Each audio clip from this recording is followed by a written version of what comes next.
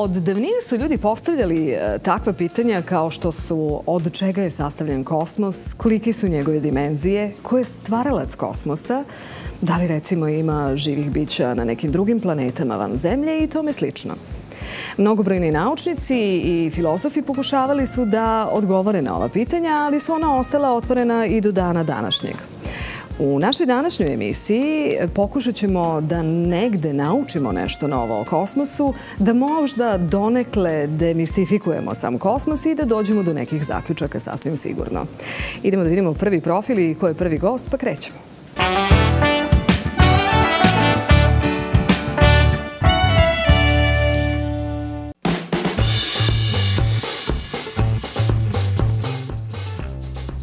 Svetozar Radišić rođen je u Leskovcu. Vojnu akademiju protiv vazdušne odbrane završio je u Zadru, a doktorirao na temu upravljanja procesima primjenom više kriterijumskog programiranja. Najviše dužnosti u vojsci Svetozar je obavljao kao komandant protiv vazdušne odbrane u Gardi. Svetozar se nalazi na listi eksperata za strategiju, doktrinu, borbenu gotovost i novi svetski pored. Profesor dr. Radišić objavio više od 800 novinarskih geopolitičkih analiza, desetinu peljtona i više desetina naučnih, pregledanih i stručnih napisa u časopisima. Ima više od 600 javnih nastupa na tribinama, forumima, predavanjima. Također bi gostu više od 400 radijskih i televizijskih emisija. U teoriji ratne veštine uneo je novu klasifikaciju ratova – a u teoriji organizacije doprime primjenu više kriterijumskog programiranja u društvenim sistemima. Profesor dr. Radišić objavio je 24 naučno-popularne knjige.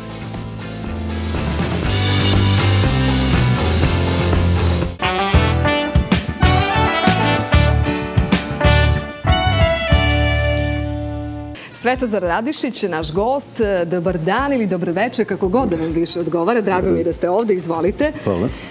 Zaista veliko zadovoljstvo za mene da ste moj današnji gost, pogotovo kada je u pitanju ovako jedna tema koja govori o kosmosu i o svim onim stvarima o kojima ste vi promišljali i zaključivali, pre svega pišući svoje knjige, ali svakako čitajući i neke tuđe, je li tako? Pa do kakvih ste zaključaka došli? Kakva je čovekova povezanost sa kosmosom? Prvo da vam kažem, do toga da razmišljam o kosmosu kao protivavionac, došao sam razmišljajući o nekim drugim temama i shvatajući da imamo problem, naučni problem, jer e, nauka nije integrisana, nemamo integralnu nauku Eh, ona je pozitivistička i razdeljena na, eh, na različite dimenzije, tako da recimo nemamo integralnu medicinu i eh, gotovo nijedna nauka nije integralna, a posebno nemamo objedinjenu nauku koja bi nam dala nekakav objedinjeni pristup stvarnosti. I kada sam razmišljao o tim stvarima zašto to sve nije kako treba i razmišljao o tome e, šta bi to moglo da bude kosmos? Dolazio do podataka o kosmosu i o mikrokosmosu, o makrokosmosu. Prosto sam e, sa tim e, idejama pošao u, da kažem, neku vrstu istraživanja da bi shvatio zapravo, kad neko kaže makrokosmos, šta je to? Na šta misli i kada je mikrokosmos, a obično se poistoveći čovek sa mikrokosmosom, šta je to. I onda je u tom, u tom prostom pristupu, što bi rekli naučnici, problemu, zapravo sam shvatio da čovjek sve što zna saznaje posmatranjem. Kosmos posmatramo kroz teleskop, a unutrašnji kosmos kroz mikroskop. I jedan i drugi su zaista fantastični u svakom smislu te reči. Oni su, da, neverovatni su iz mhm. prostog razloga šta god, u koji god kosmos e, ulazite, vi ćete ući u milijarde nekakvih materijalnih stvari. Shvatit ćete e, da se kosmos sastavi od energije, da je sve zapravo energija, pa neko kaže materija je energijom obličena energija, onda shvatate da osim materije i energije postoji još samo informacija i da ta informacija zapravo odlučuje o svemu u kosmosu. Dakle, ja sam napisao knjigu dok misli stvaraju kosmos. Dakle, šta mi zapravo e, znamo i šta saznajemo kada shvatimo da je misao zapravo samo nosilac informacija i da, kako kažemo, da misli stvaraju kosmos, onda to bukvalno tako, znači to nije poetski E, pristup. Dakle, mi mislima možemo mnogo toga da uradimo, možemo da utičemo na na pojave i događaje u kosmosu, a možemo da utičemo i na sobstveni mikrokosmos. Ovo što nama znači pričate je zaista e, fantastično. Ja ne znam koju bih drugu reč upotrebila. Zato što e, ako nam kažete da misli stvaraju kosmos i da je moć misli toliko velika, e, to je nešto što nam niko nikada nije rekao. To je nešto što čini mi se u posljednje vreme sve više ljudi se oslobađa da o tome priča. Problem je u tome šta mi učimo u školi. Dakle, kad bi se vratili jedan vek unazad, mhm. kad bismo došli, recimo tamo u vreme stvaranja Nikole Tesle, mi bismo shvatili e, da postoji jako mnogo pristupa životu i da smo mi sad to sveli na nauku. Nauka je bila samo odgovor na religije. Mhm. Religije su već imale E, dosta promašaja u tvrdnjama i ljudi koji su se založili za nauku, to su po meni ovi babilonci koji sad vlataju svetom, oni su na neki način se suprostavili jezuitima i zašto to pričam? Zato što zapravo e, nauka je neka vrsta odgovora u smislu da se dođe do istine. Jer sve religije govore o istini. Govore o tome da je Bog istina između ostalog, da ne govorimo o drugim komponentama. I dakle, taj kraj 19. veka i nauka u to vreme može da nas nauči nešto prosto. Da imate šest puteva do istine, jedan je taj naučni, koji uglavnom je dominantan i njega učimo, drugi je religijski, treći je filozofski, četvrti je teozovski, peti je umetnički i šesti je okultistički. Svi ti pristupi zapravo nas dovode na neki put e, istine, ali oni se zajedno, kad bi se objedinili, možda e, bismo došli do istine. A kako nisu objedinjeni, onda svako iz svoje oblasti posmatra stvarnosti, to liči ono što bi rekli e, na fenomen kada slepci pipaju slona. Mi ne možemo dođemo do neke celovite istine. Imate čak jedan pojam koji se često koristi, holistički pristup, ako taj neki sveobuhvatan pristup, ali niko nije napravio organizaciju eh, i nigdje se ne uči kako da objedinite eh, pristupe životu. To je slična situacija. Kako da saznate stvarno šta je isto. Da, šta hoću da kažem. Meni to sada, kako ste ispričali, jako me i snažno asocira na situaciju koju zatičemo recimo u medicini.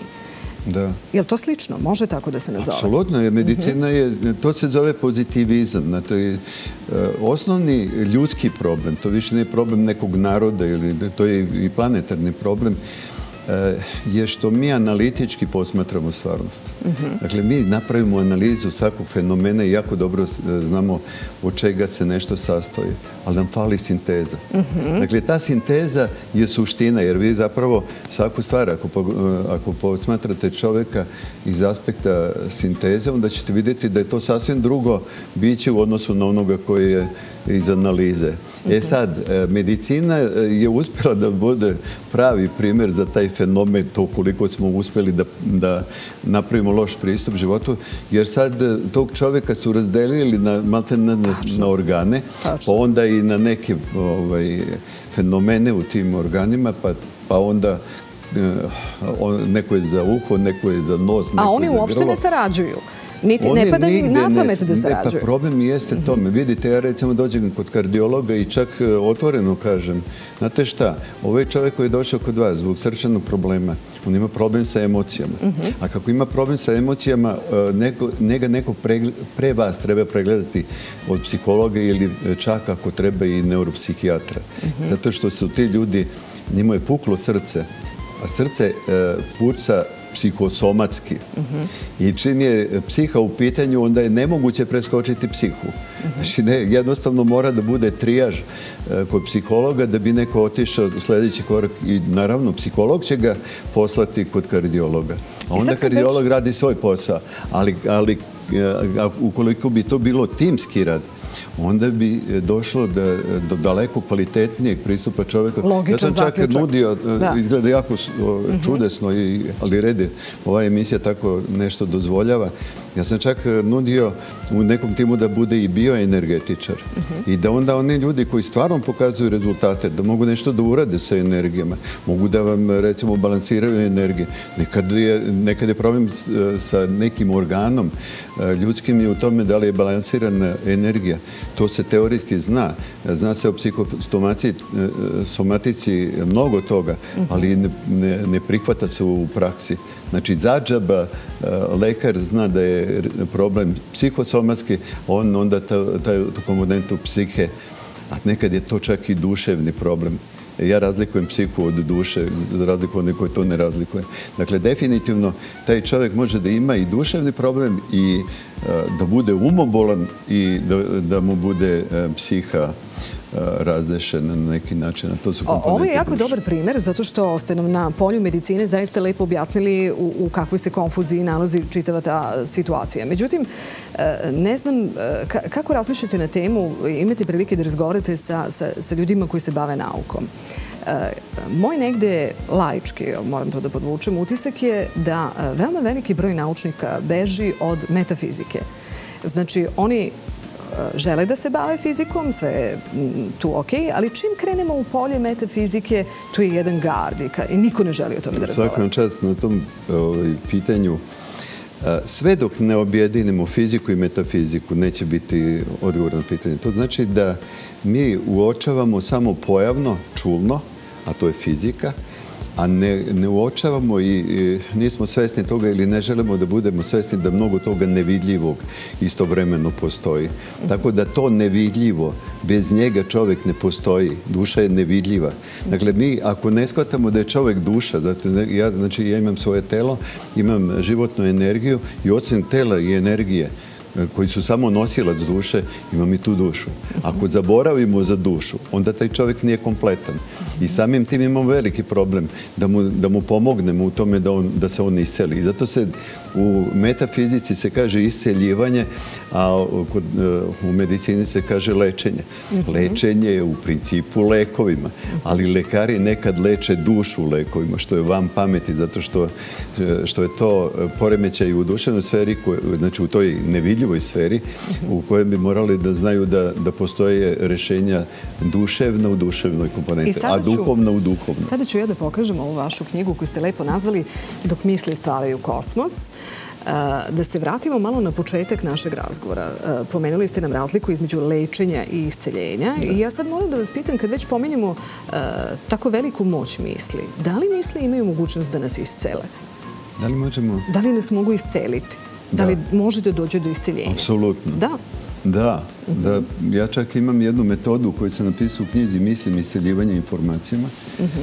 E, Metoda se zove autohipnozno samosceljivanje. Naravno, ja ovdje ne govorim zbog te knjige, ali moram zbog pitanja da vam kažem, mi zapravo sebe e, svojim mislima razdešavamo.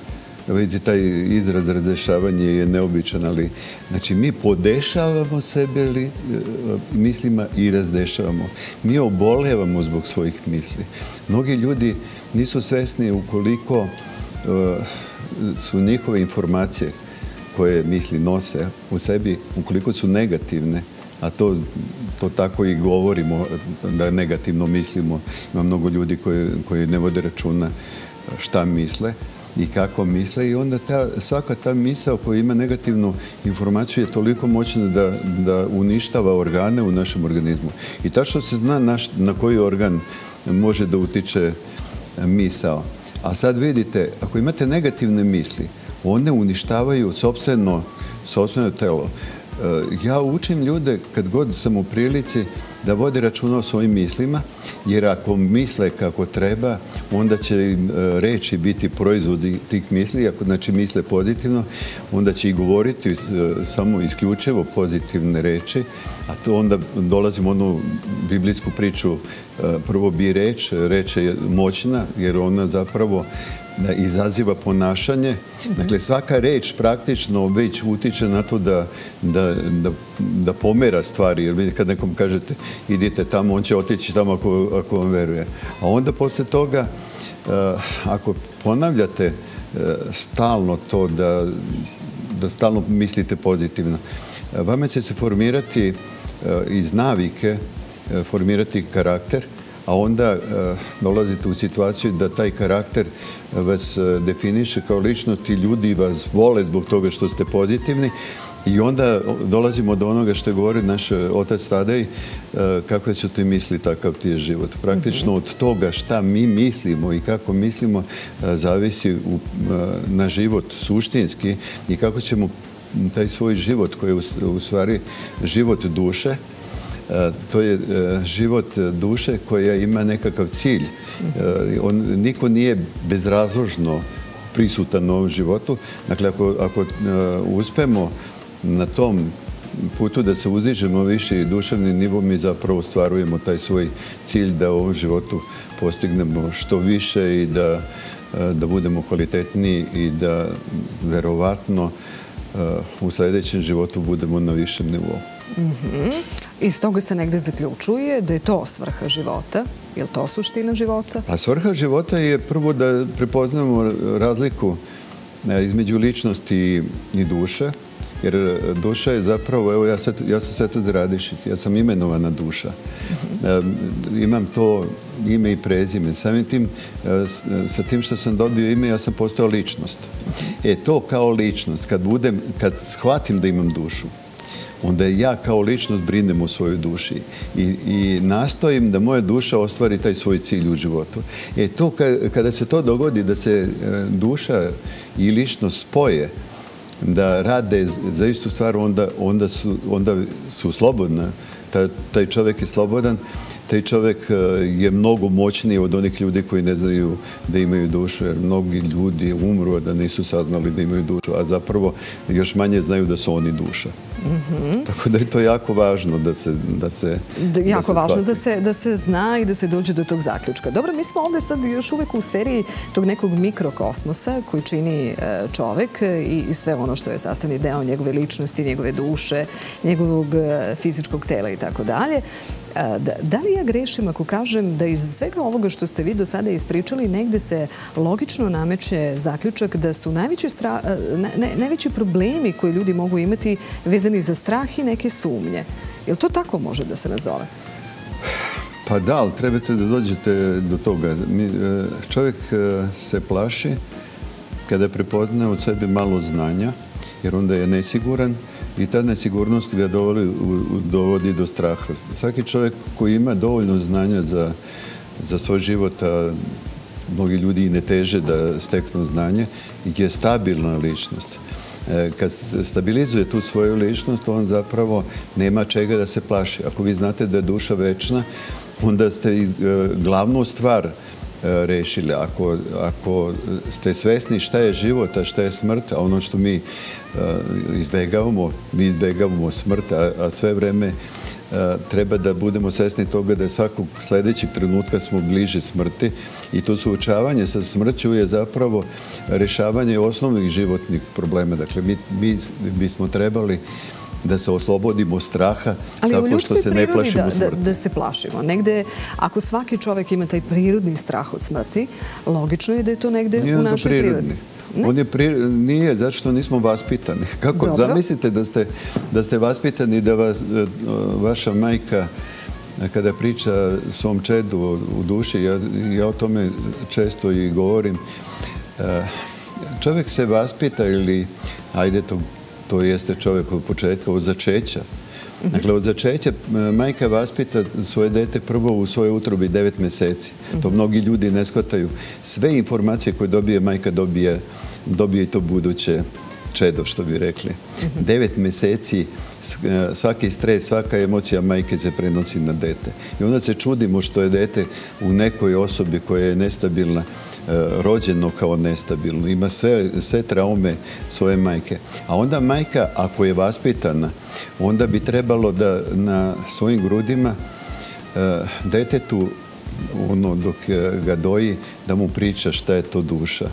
da, da mu objasni šta treba da čuva, da mu objasni šta je to pismo, šta je to jezik, šta je to kultura. Dakle, one, one elementarne stvari, koji je on? Znači, to sve treba dete da sazna od majke i onda majka predaje kao vaspitana, vaspitačicama dalje i one su isto vaspitane i one to sve znaju.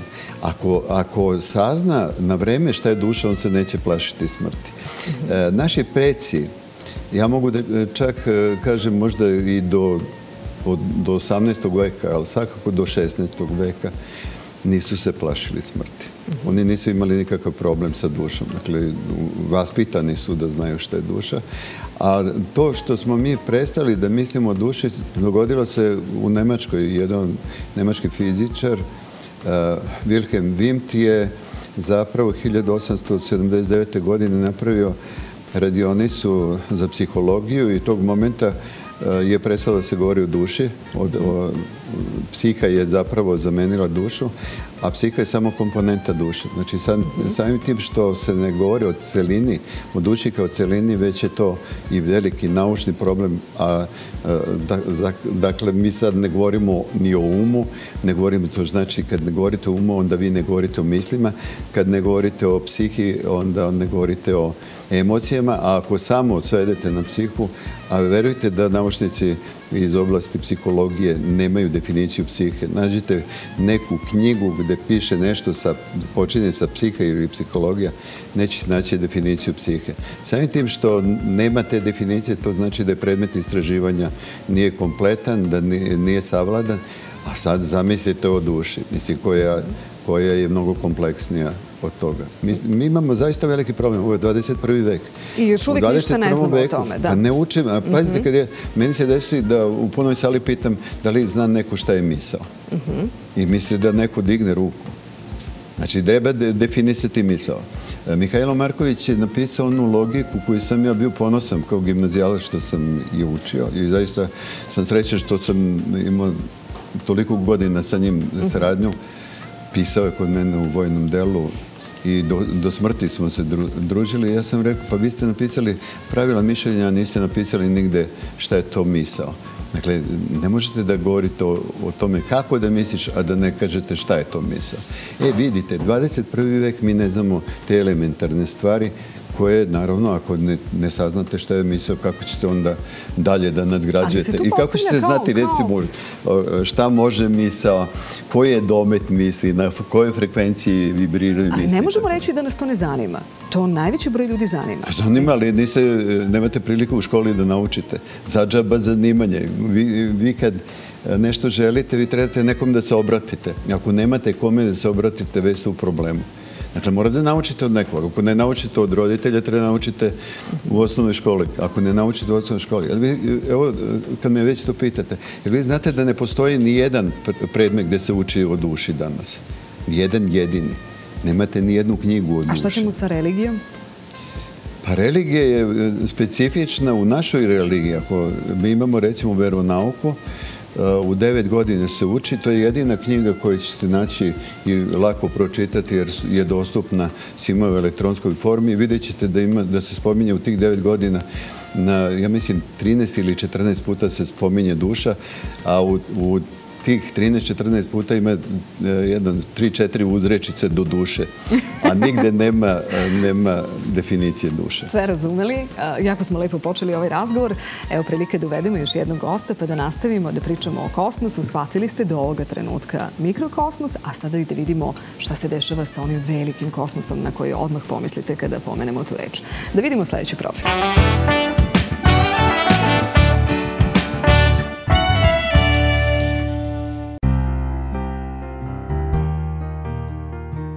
Aleksandar Otašević je po zanimanju astrofizičar. Zaposleni u astronomskom društvu Ruđer Bošković iz Beograda. Diplomirao je na Matematičkom fakultetu u Beogradu. Aleksandar Otašević bavi se popularizacijom astronomije, ali on i vodi planetarijumske projekte u planetarijumu AD Ruđer Bošković, a takođe Aleksandar osmišljava i vodi kurs astronomija za početnike, organizuje i rukovodi letnim školama astronomije, a sve to u okviru programa Ruđer Bošković. Redovan je učesnik u mnogobrojnim manifestacijama kao što su Noć istraživanja, Vršački astronomski susreti, Beogradski astronomski vikend, Zimski kamp fizike.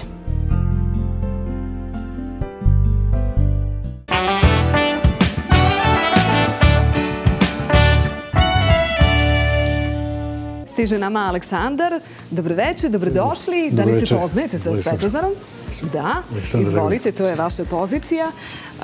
Čuli smo iz profila, ali nije loše možda zbog onih koji su se sada uključili u program da nam kažete odakle vi dolazite, iz koje ustanove? Pa ja dolazim iz astronomskog društva Ruđer Bošković mhm. sa Kalemegdana. Mhm, što znači da ste vi idealna osoba za razgovor o kosmosu. Ko zna pa, više od vas? Kada ste svaki dan usmereni na kosmos, je li tako? To je posao, da. I šta nam vi kažete sada? Ako vas ja pitam da li su naučnici konačno došli do zaključka, šta je to kosmos, šta nam vi kažete? U teško je reći šta je kosmos, u stvari i lako je reći šta je kosmos, prosto sve što postoji. Uh -huh. Kosmos je sve ukupno postojanje, to je kosmos. Uh -huh. Uh -huh. Ali ne postoji neka, znate zašto vas to pitam? Zato što sam malo pripremajući se za emisiju istraživala i nailazila na raznorazne neke predstave kosmosa. Sad koliko su one tačne, koliko su relevantne, tu ćete vi da mi odgovorite, ali recimo ono što je na mene ostavilo utisak jeste izjave eh, jednog američkog naučnika koji kaže kosmos je hologram. Sad, kako mi to da, kako mi to da shvatimo? Kako hologram? Meni je to neshvatljivo. David Bowie. Pa pravo da kažem, ne bih ni ja mogao da kažem na šta je mislio. Ako mm -hmm. Ali ste čuli za to, pretpostavljam. Ovaj, Evo, razmišljam šta bi to moglo, šta je, šta je bilo iza toga, ne znam. Samo ono mm takve izjave, šta je, na što on tačno mislio, ne mogu. Je li vama pada nešto na pamet? Da, padaju mi oba mhm. obojica naučnika, Karl Pribrem i i David Bomb. Oni su uh, teoretičari iz te oblasti i oni smatraju da da je stvarno to najvjerojatnije hologramski kosmos i da mi to što vidimo uh, nije stvarnost. A kako je to moguće? Kako je to moguće pa da kosmos ne bude? Zato što je moguće napraviti vi hologramski, ako napravite jabuku, jabuka, uh, to, to, taj fenomen je razrađen u, u nauci. Ako podelite jabuku na dva dela, uh u hologramska jabuka podrazuma dve jabuke iste istog oblika, a ne mhm. podeljeno onako fizički. Kada je podelite fizički, onda su dve polovine. A kod holograma, vi kad e, podelite jabuku koja je hologramska, vi dobijete dve jabuke e, dve manje, koje zajedno opet čine jednu celinu. Mhm. Dakle, to je sasvim druga priča. Vi sad imate, recimo, E, mogućnost pravljenja holograma pomoću sistema HARP na Aljasi, što je vrlo čak opasno jer može mnogo toga da se inscenira i napravi nestvarno nešto. Možemo doživjeti recimo e, spuštanje Isusa Hristosa hologramsko, a imate, to možete nađete na YouTube-u, japanske pevačice koje su hologramske.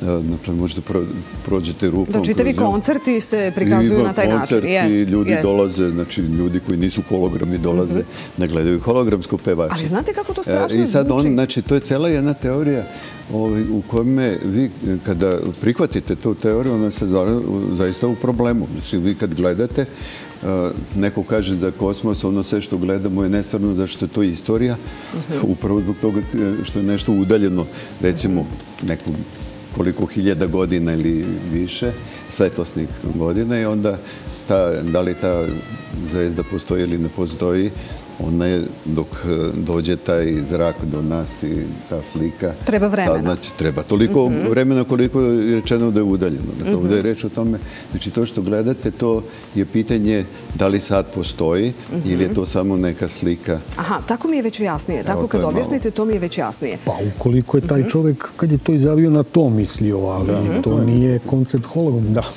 Na to je mislio. Prosto, ako je na to mislio da mi gledamo nešto što u ovom trenutku mhm. više ne postoji. постои, па, варијатно па, не бих назвал да холограм, али А не, не, не, мисли тоа, него мисли на, на феномен да е могуче нешто да се твори као холограмска слика. Тоа е могуче урадите. Да, например, ви планету направите да она не, не постои, a vi je vidite. Kao što vidite to, tu pevačicu. Na to, na to smo mi... Kako bismo to napravili? To mi sad nije... Pa, e pa tu se postavlja pitanje, postoji iza, iza svega to može Da se to, je, to je a, mislim, tu u tom smislu, možda, zaista ne znam. Ovo bih dublje da proučim može, može. tu ideju koju taj čovjek iznao, šta zaista, na što on zaista mislio. Sad sam vam skrenula pažnju u kom pravcu treba da, da možda istražujete i da razmišljate, ali a, hajte da, da, da nam kažete vi, pretpostavljam, da, ne, da negde ste se bavili ili zaključili ovaj, u poslu koji, koji radite, u kom smo mi trenutku danas? Recimo, kada pomenete 50. i 60. godine, postojila je čuvena ona trka između Amerikanaca i Rusa u osvajanju kosmosa. Kako danas stoje stvari? Ko se danas trka u odnosu na kosmos? Danas su se uključili u trku Kinezi. Aha. I ne samo u trci za kosmos, nego uopšte u trci u svim segmentima mhm. života ovaj, kinezi sad isplivavaju kao veoma jaka astronautička sila. Kad kažem trku na kosmos, tu trku, trku za ka kosmosu mislimo na astronautičku u stvari trku, trku mm -hmm. u astronaut, u astronautičkoj tehnologiji. Mm -hmm. ovaj, da, nekad su to bili Amerikanci i Rusi, dalje su tu Amerikanci i Rusi, naročito Amerikanci, ali su sada tu ravnopravan partner Ujedinjene evropske zemlje, koje Evropske unije.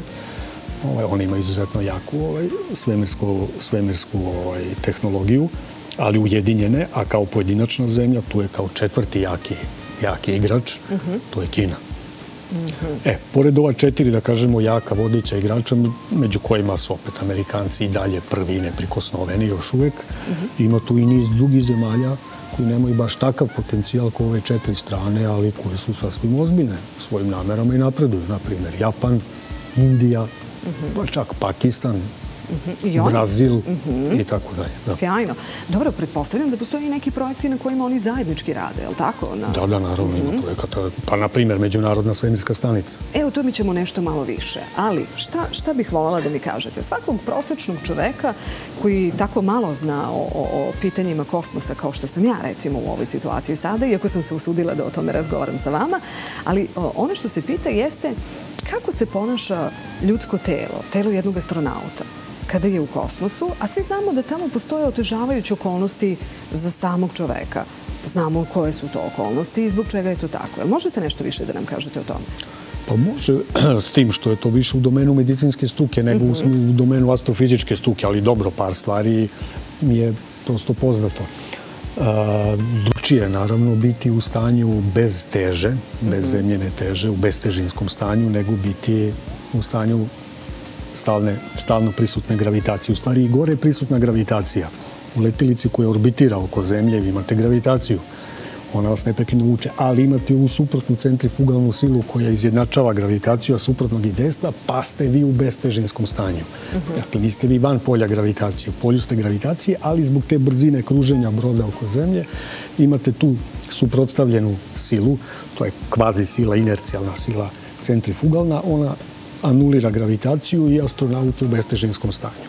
U bestežinskom stanju vaši mišići ne moraju da rade. Mislim, ovi skeletni veliki mišići, ali kao što moraju da rade u, u, u gravitacijonom polju kad ste na površini zemlje. Dobro. Vaše telo da bi stajalo uspravno, da bi se kretalo, da bi obavljalo bilo kakve mehaničke radnje, mišići moraju da budu da rade, da su aktivni. U, gravit, u bestežinskom stanju to nije potrebno. Uh mhm. -huh. Tamo mišići atrofiraju, ako ste duž u boravu. Takođe kosti kosti su čvrste da bi se suprotstavile gravitaciji, da bi telo zadržalo formu u gravitacijonom polju.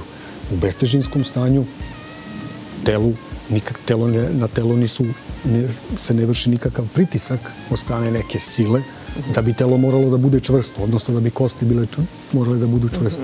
I opada koštana masa. Što to znači? Gubi se kalcijum? Gubi se kalcijum iz kostiju, opada koštana masa. Astronauti koji su po više meseci neprekidno ovima orbitalnim stanicama na povratku, pri povratku na zemlji imaju veoma ozbiljnih zdravstvenih problema, bez obzira što rade svakodnevno fizičke vežbe. Gore dok znači, to je njihova obaveza, Bez obzira, jeste. Inače bi stanje bilo još gore. U početku, kada su prve orbitalne stanice lansirane, to je tamo u 70. godine, to su baš radili Rusi, njihovi astronauti su posle par meseci, nisu radili taj vežbe, nije se znalo da je to neophodno, bili prosto nisu mogli da hodaju kada se vrate na zemlju. Toliko bi izgubili i mišićne mase i koštane. Lomile bi im se kosti. Onda se uvidjelo da mora da se vežba, pa je počelo sa vežbanjem. Međutim, i posle vežbanja, opet slični problemi, ne tako izraženi, ali i slični. Dakle, čak i to vežbanje nije dovoljno. Znači, to su dva aspekta. Ali postoji neko ograničenje koliko može jedan astronaut da provede vremena u, na toj orbitalnoj stanici, recimo? Ne, za sad ne, postoji nikakvi gornjih i čak se ti rekordi probijaju probijaju se. Već imate astronauti koji su znatno više od godinu dana bili neprekidno na mhm. orbitalnim stanicama. O, to je zaista znači, već je znatno više od godinu dana. Da. Mhm. I kako to izgleda tamo? Jel, jel, e, tu oni imaju društvo, bude jedan, dva čoveka? Uglavnom, uglavnom je s društvom zbog psiholoških efekata. Mhm. Teško bi bilo čoveku da izdrži više meseci u jednom prilično skučenom prostoru. Ta kosmička stanica sada trenutno jedina koja postoji, to je Alfa, ovaj, međunarodna svemirska stanica, ona ovako grandiozno deluje kad vidite njene mere, ne znam, stotinak metara panela, solarnih i to, ali u suštini prostor za boravak je za čoveka tu prilično skučen i mali. Vi tu treba da provedete recimo godinu dana, ajde nekoliko meseci. Sam čovek teško da bi tako zatvorenim, neprirodnim uslovima, bez, bez težinskog stanja mogao da izdrži. Tako da obavezno, obavezno je to po nekoliko ljudi. Bar dvoje. Sada nešto više znamo, naučili smo. E, da pogledamo jedan prilog pa ćemo da se vratimo na, na razgovor.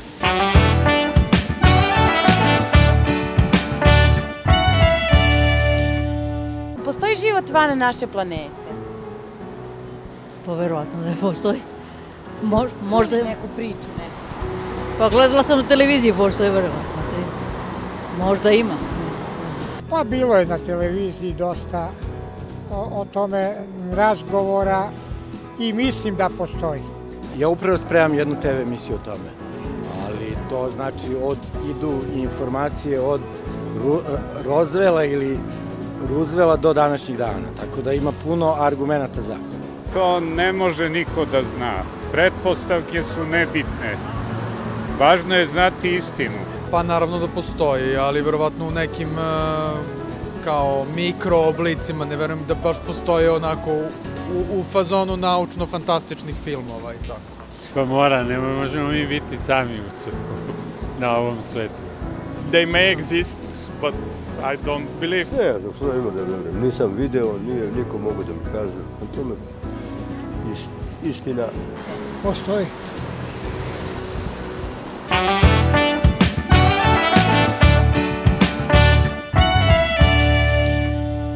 Hajde da vidimo šta kažete vi, Aleksandre, na upravo to pitanje. Kako vama to izgleda?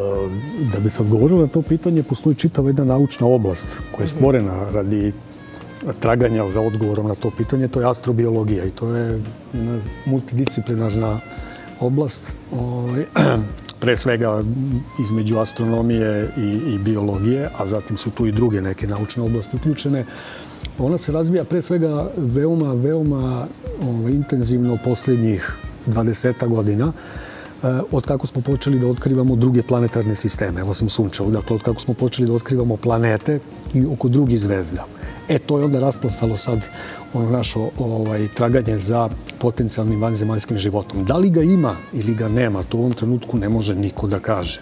Mhm. Ne znamo da li ga ima ili da li ga nema postoje naravno ovaj, ubeđenja da ga ima, ubeđenja da ga nema, ali to je sve još uvijek na nivou verovanja, na nivou analiza nekih stvari ali ako pričamo o zakonu verovatnoće i ako pomislite koliko planeta ima, ne samo u sunčevom sistemu, već i van njega, onda nekako dođete do zaključka, pa stvarno bi bilo pa nemoguće To je najčešći argument koji se poteže u prilog ideji da ga ima. Međutim, tom argumentu možete da suprotstavite i argumentu veoma maloj verovatnoći, koliko god je ova velika verovatnoća, s obzirom na broj planeta u svemiru i tako dalje, ovaj, toliko je veoma mala verovatnoća da vi dobijete takvu kombinaciju ovaj, na onom atomskom i molekularnom nivou koja će da da složene sisteme i na kraju život.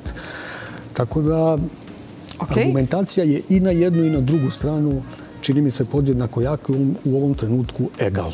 Dobro. Šta nam vi kažete, Sveta Zelena? Smatram da je ovo naučni pristup i vrlo korektan.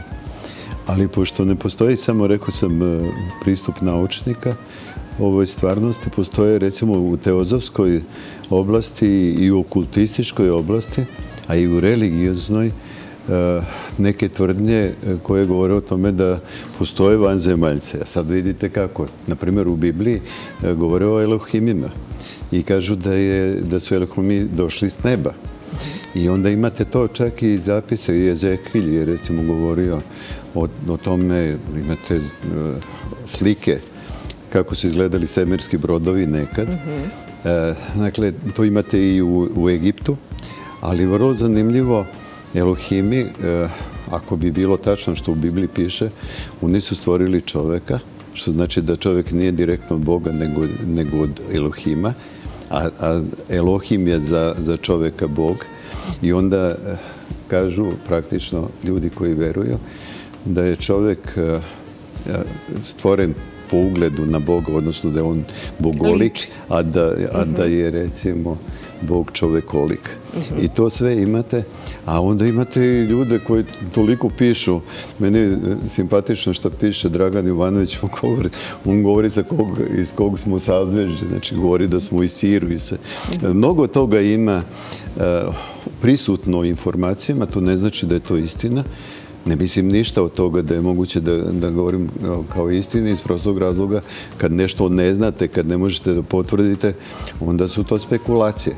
Ali je činjenica da je najbolji način ovo što, ovo što radi i kolega, pošto ja isto doktor neki, pa on, ovo, znači najbolje je ako možeš nešto da potvrdiš i da to bude sigurno i onda znaš šta zastupaš. Ali takva A sve ovo ostalo, to, te sve druge informacije, zaista su E, morate da ih primite sa nekom zadrškom, ali ako primite sa zadrškom to da smo postali od Elohima, onda, Elohima, onda pada kompletna jedna, e, jedan religijski pristup e, ovaj, uopšte čoveku, a onda mi zapravo ne, negiramo glavne religije na ovoj planeti. Mhm. E, to ne da ni jedna religija. Znači, mhm. nema šanse da vi sad nekome kažete da, da nisu pravu hrišćani, da nisu pravu budisti, eh, da ne pričamo o svemu kako se zovu Boga. I negde se nameće zaključak da je to glavni razlog zašto se ne govori više o tome i zašto se ne izlazi Ja mislim da je naš najveći problem planetarni eh, to što, evo recimo kad govorimo o kosmosu, to za nekog je kosmos Bog.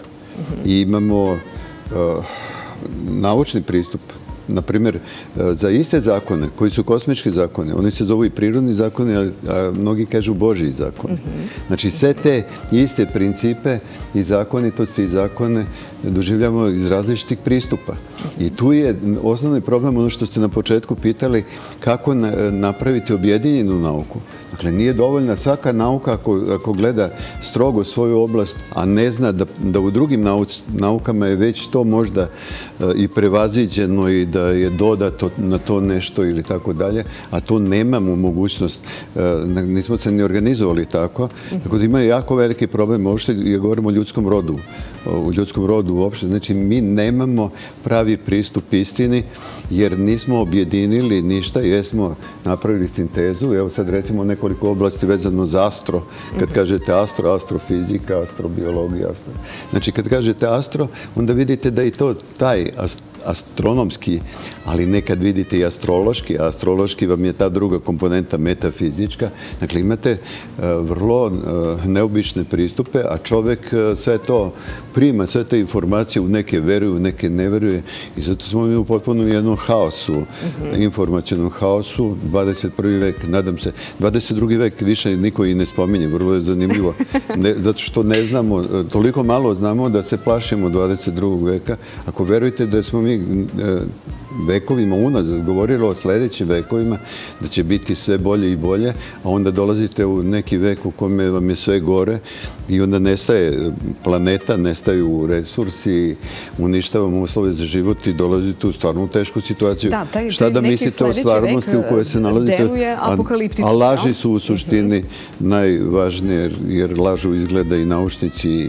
Ja znam znam koliko se laže u, nauku, u mojoj nauci. Hvala vam što ste to rekli. To je zaista vrlo hrabro jer e, veliki broj ljudi to ovako javno verovatno ne bi rekao, ali sigurna sam da vi to e, kažete sa razlogom. A sada idemo na sljedeći profil dovedemo i sljedećeg gosta da kompletiramo ekipu sa kojom ćemo pričati.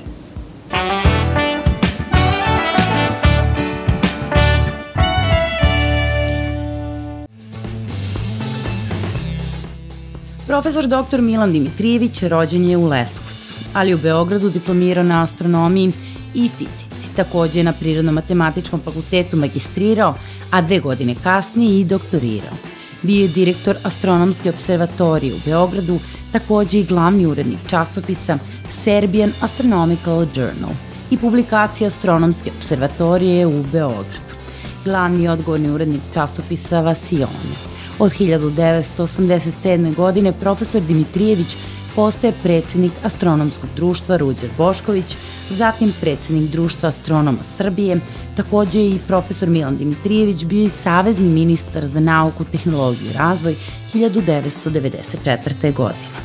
Objavio je više od 200 radova u međunarodnim naučnim časopisima i više knjiga. Koautor je srednjoškolskog učbenika astronomije, snimio je desetak naučno-popularnih televizijskih serija za astronomije, objavio je knjigu stihova pesme, antologiju stihova o kosmosu pod nazivom Kosmički cvet, pred zvezdanim vratima i staza ka zvezdama. Profesor Milan je također član udruženja književnika.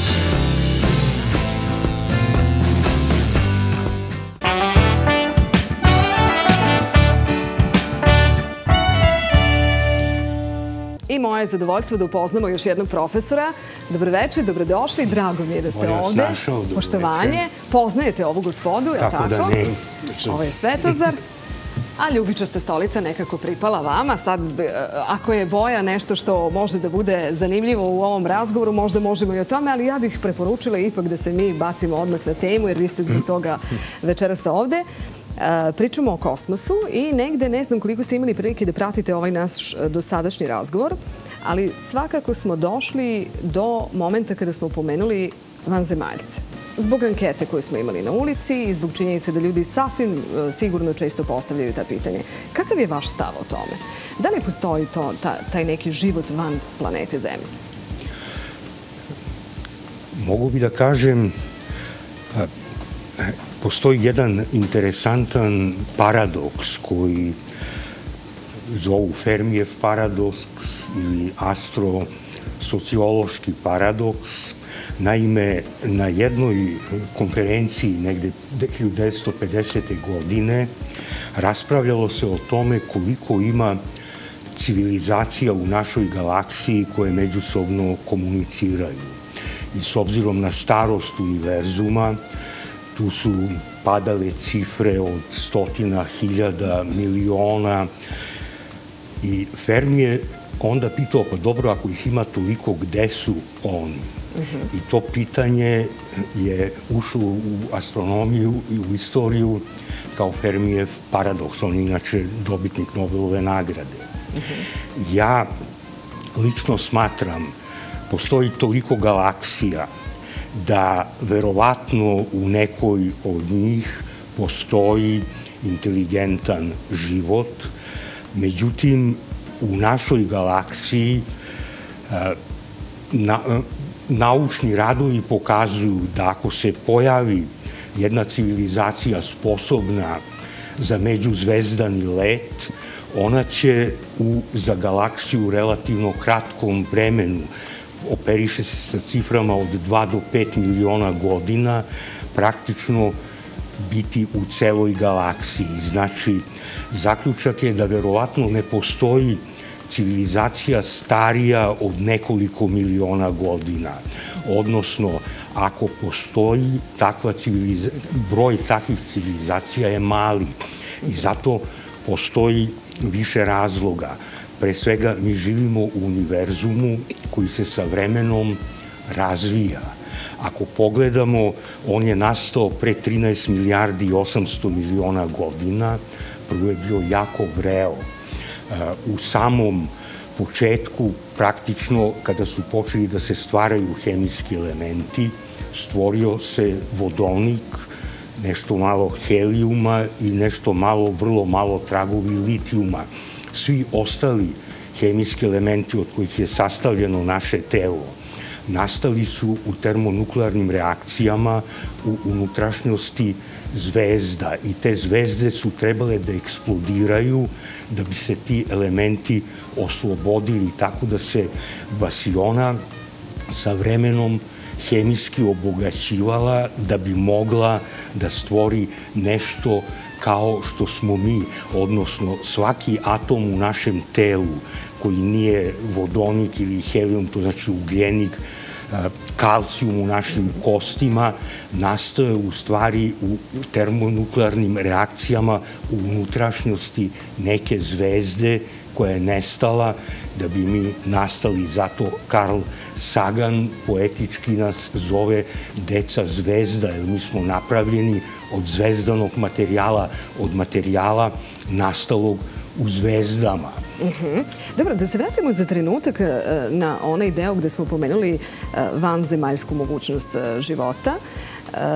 Kako vam se čini, recimo, Deniken i njegova istraživanja i čitava horda nekih ljudi koje se bave tim nekim, pod znacima navoda, drevnim vanzemaljcima i njihovim nekim tragovima koji su ostali na planeti Zemlji? To nije naučno utemeljeno, odnosno to spada u domen kvazi nauke. E, nauka se odlikuje nekim razvojem i odlikuje se time da ono što je naučna istina može da se dokaže ili opovrgne.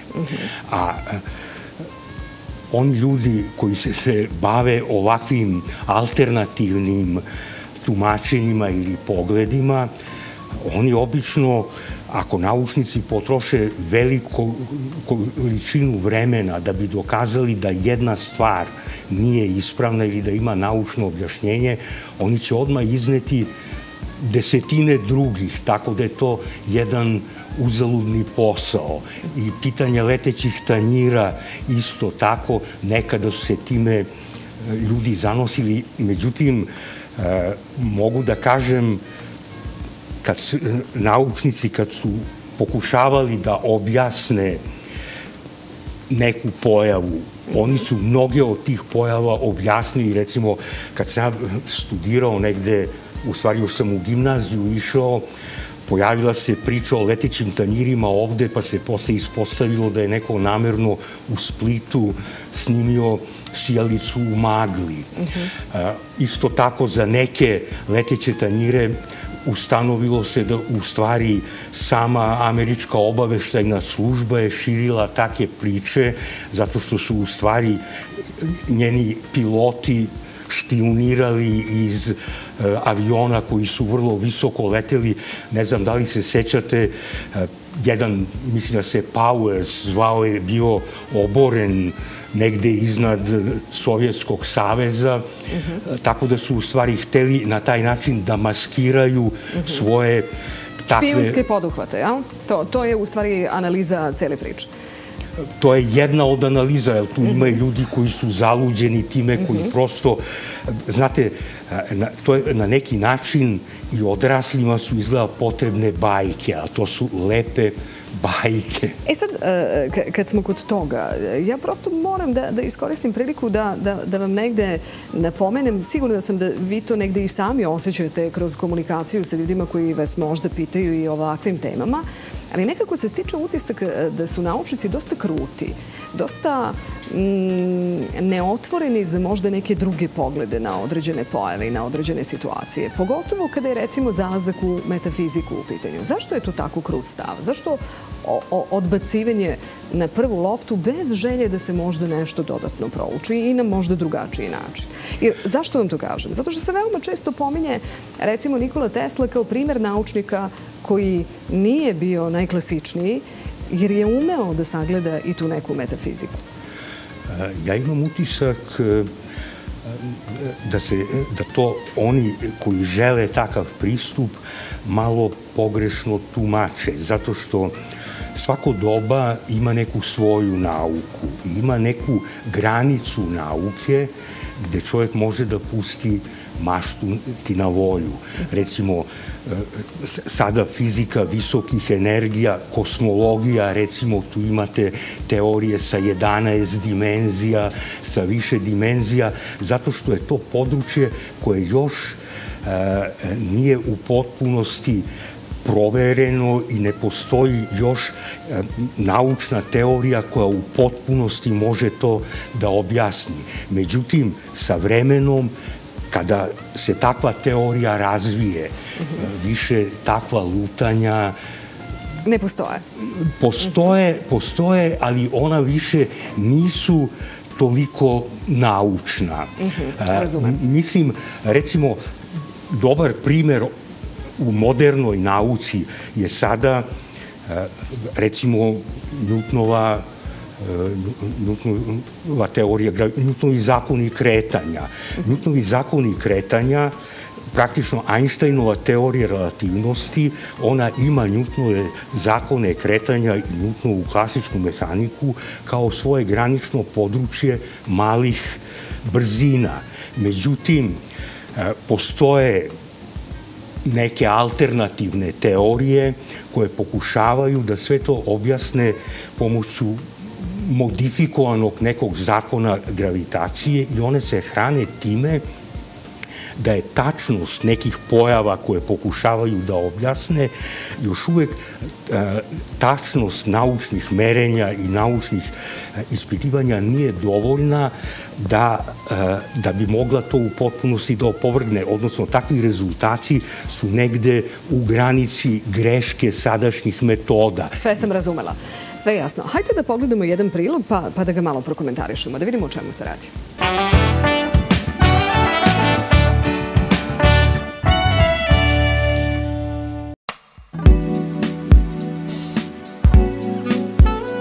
14. avgust 2017. ući će u istoriju astronomije kao dan kada su prvi put tri detektora registrovala gravitacioni talas. Do sada su takva merenja bila moguća samo sa dva američka detektora LIGO, ali ovaj signal uhvatio italijanski detektor Virgo. Analiza podataka pokazuje da je gravitacioni talas nastao kada su se spojile dve relativno teške crne rupe, čija je masa 31, odnosno 25 puta veća od mase Sunca. Gravitacioni talas GW170814 prvo je registrovao LIGO, detektor u Livingstonu. 8 milisekundi kasnije detektor u Hanfordu, a 6 milisekundi potom detektor u Italiji. Na osnovu podataka o vremenu može da se izračuna iz kojeg dela univerzuma je tala stigao. A budući da su ovoga puta tri detektora bile u igri, naučici su mogli prilično tačno da izračunaju na kojoj udaljenosti i gde se je ovaj kosmički događaj. Između sazvežća Eridan i Horologijum, časovnik, na udaljenosti od 1,8 milijardi svetlosnih godina od Zemlje. Astronomija gravitacijnih talasa razvija se munjevitom brzinom. Sa trećim velikim detektorom možemo mnogo preciznije da odredimo položaj i udaljenost izvora gravitacionih talasa, kažu Bruce Allen i Alessandra Buonano sa Instituta za gravitacionu fiziku Max Planck.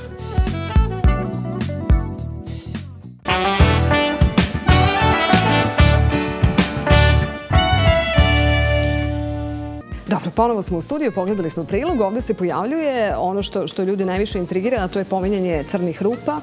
To je, čini mi se, nešto što najviše pažnje izaziva kada pominjete e, kosmos i uopšte neke neistražene pojave. Pa možda nije loše vi, Aleksandra, da nam kažete nešto više o tome.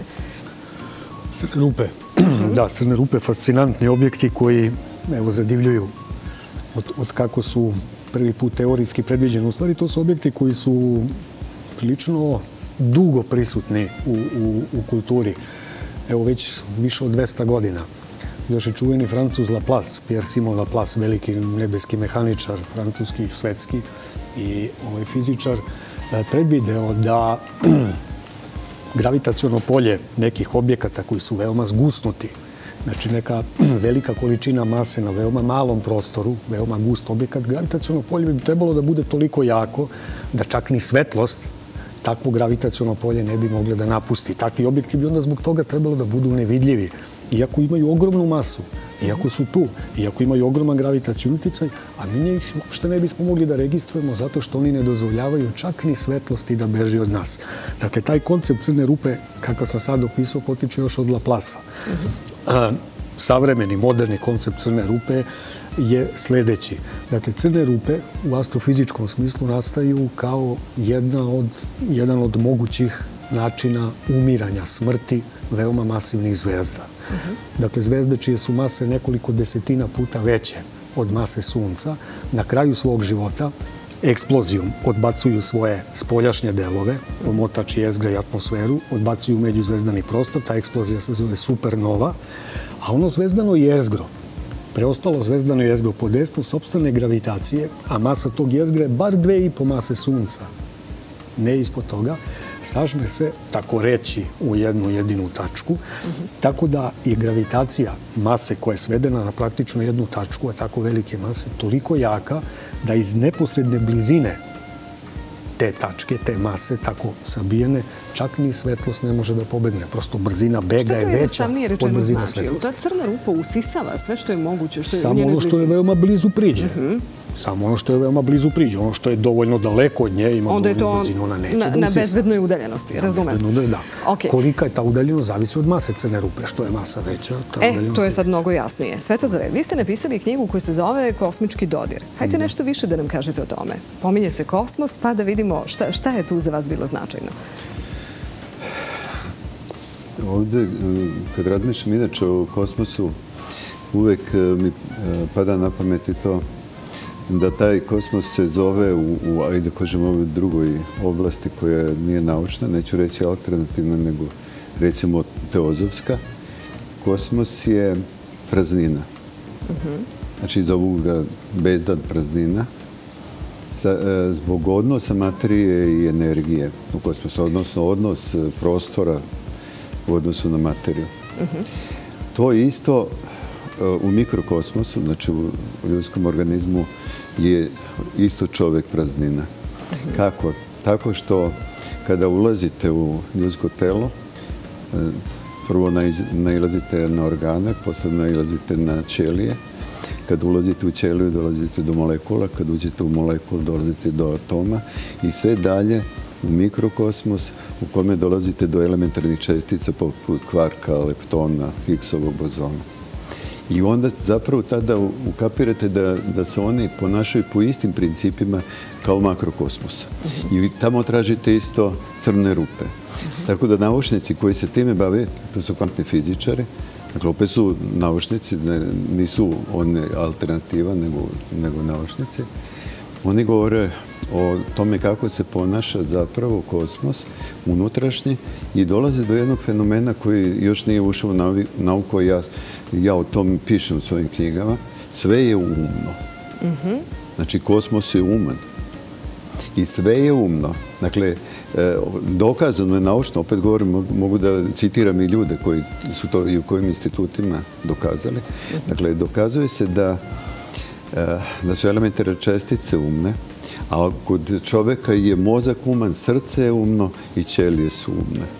I sad imate ruske naučnike poput Genadija Jakovljevića Temnikova, akademika, koji opšti sa svojim ćelijama. Dakle, misa ono opšti i misa ono utiče na ćelije. On čeka, sad je to reč o mentalnoj sferi, on postroji, kako se šali u svim svojim predavanjima, postroji svoje ćelije, onda im se obraća i kaže šta treba da rade, kako da se ponašaju. Šta to znači? Da postoji nešto što se zove umna energija? Je li to to? To je umna energija, a mi zovemo, umnu energiju zovemo Boga. I tu sad počinje ona priča kad, e, kad je Milan rekao da je kosmos sve, to je sve, ali to je tako, a Bog je sve isto. Odmah ulazite u sve druge e, pristupe života, odmah ulazite u religiju, u, u filozofiju, ulazite u teozofiju, ulazite u ekultizam, pa konačno i u umetnost. Svi, e, svi ti pristupi govore o Bogu.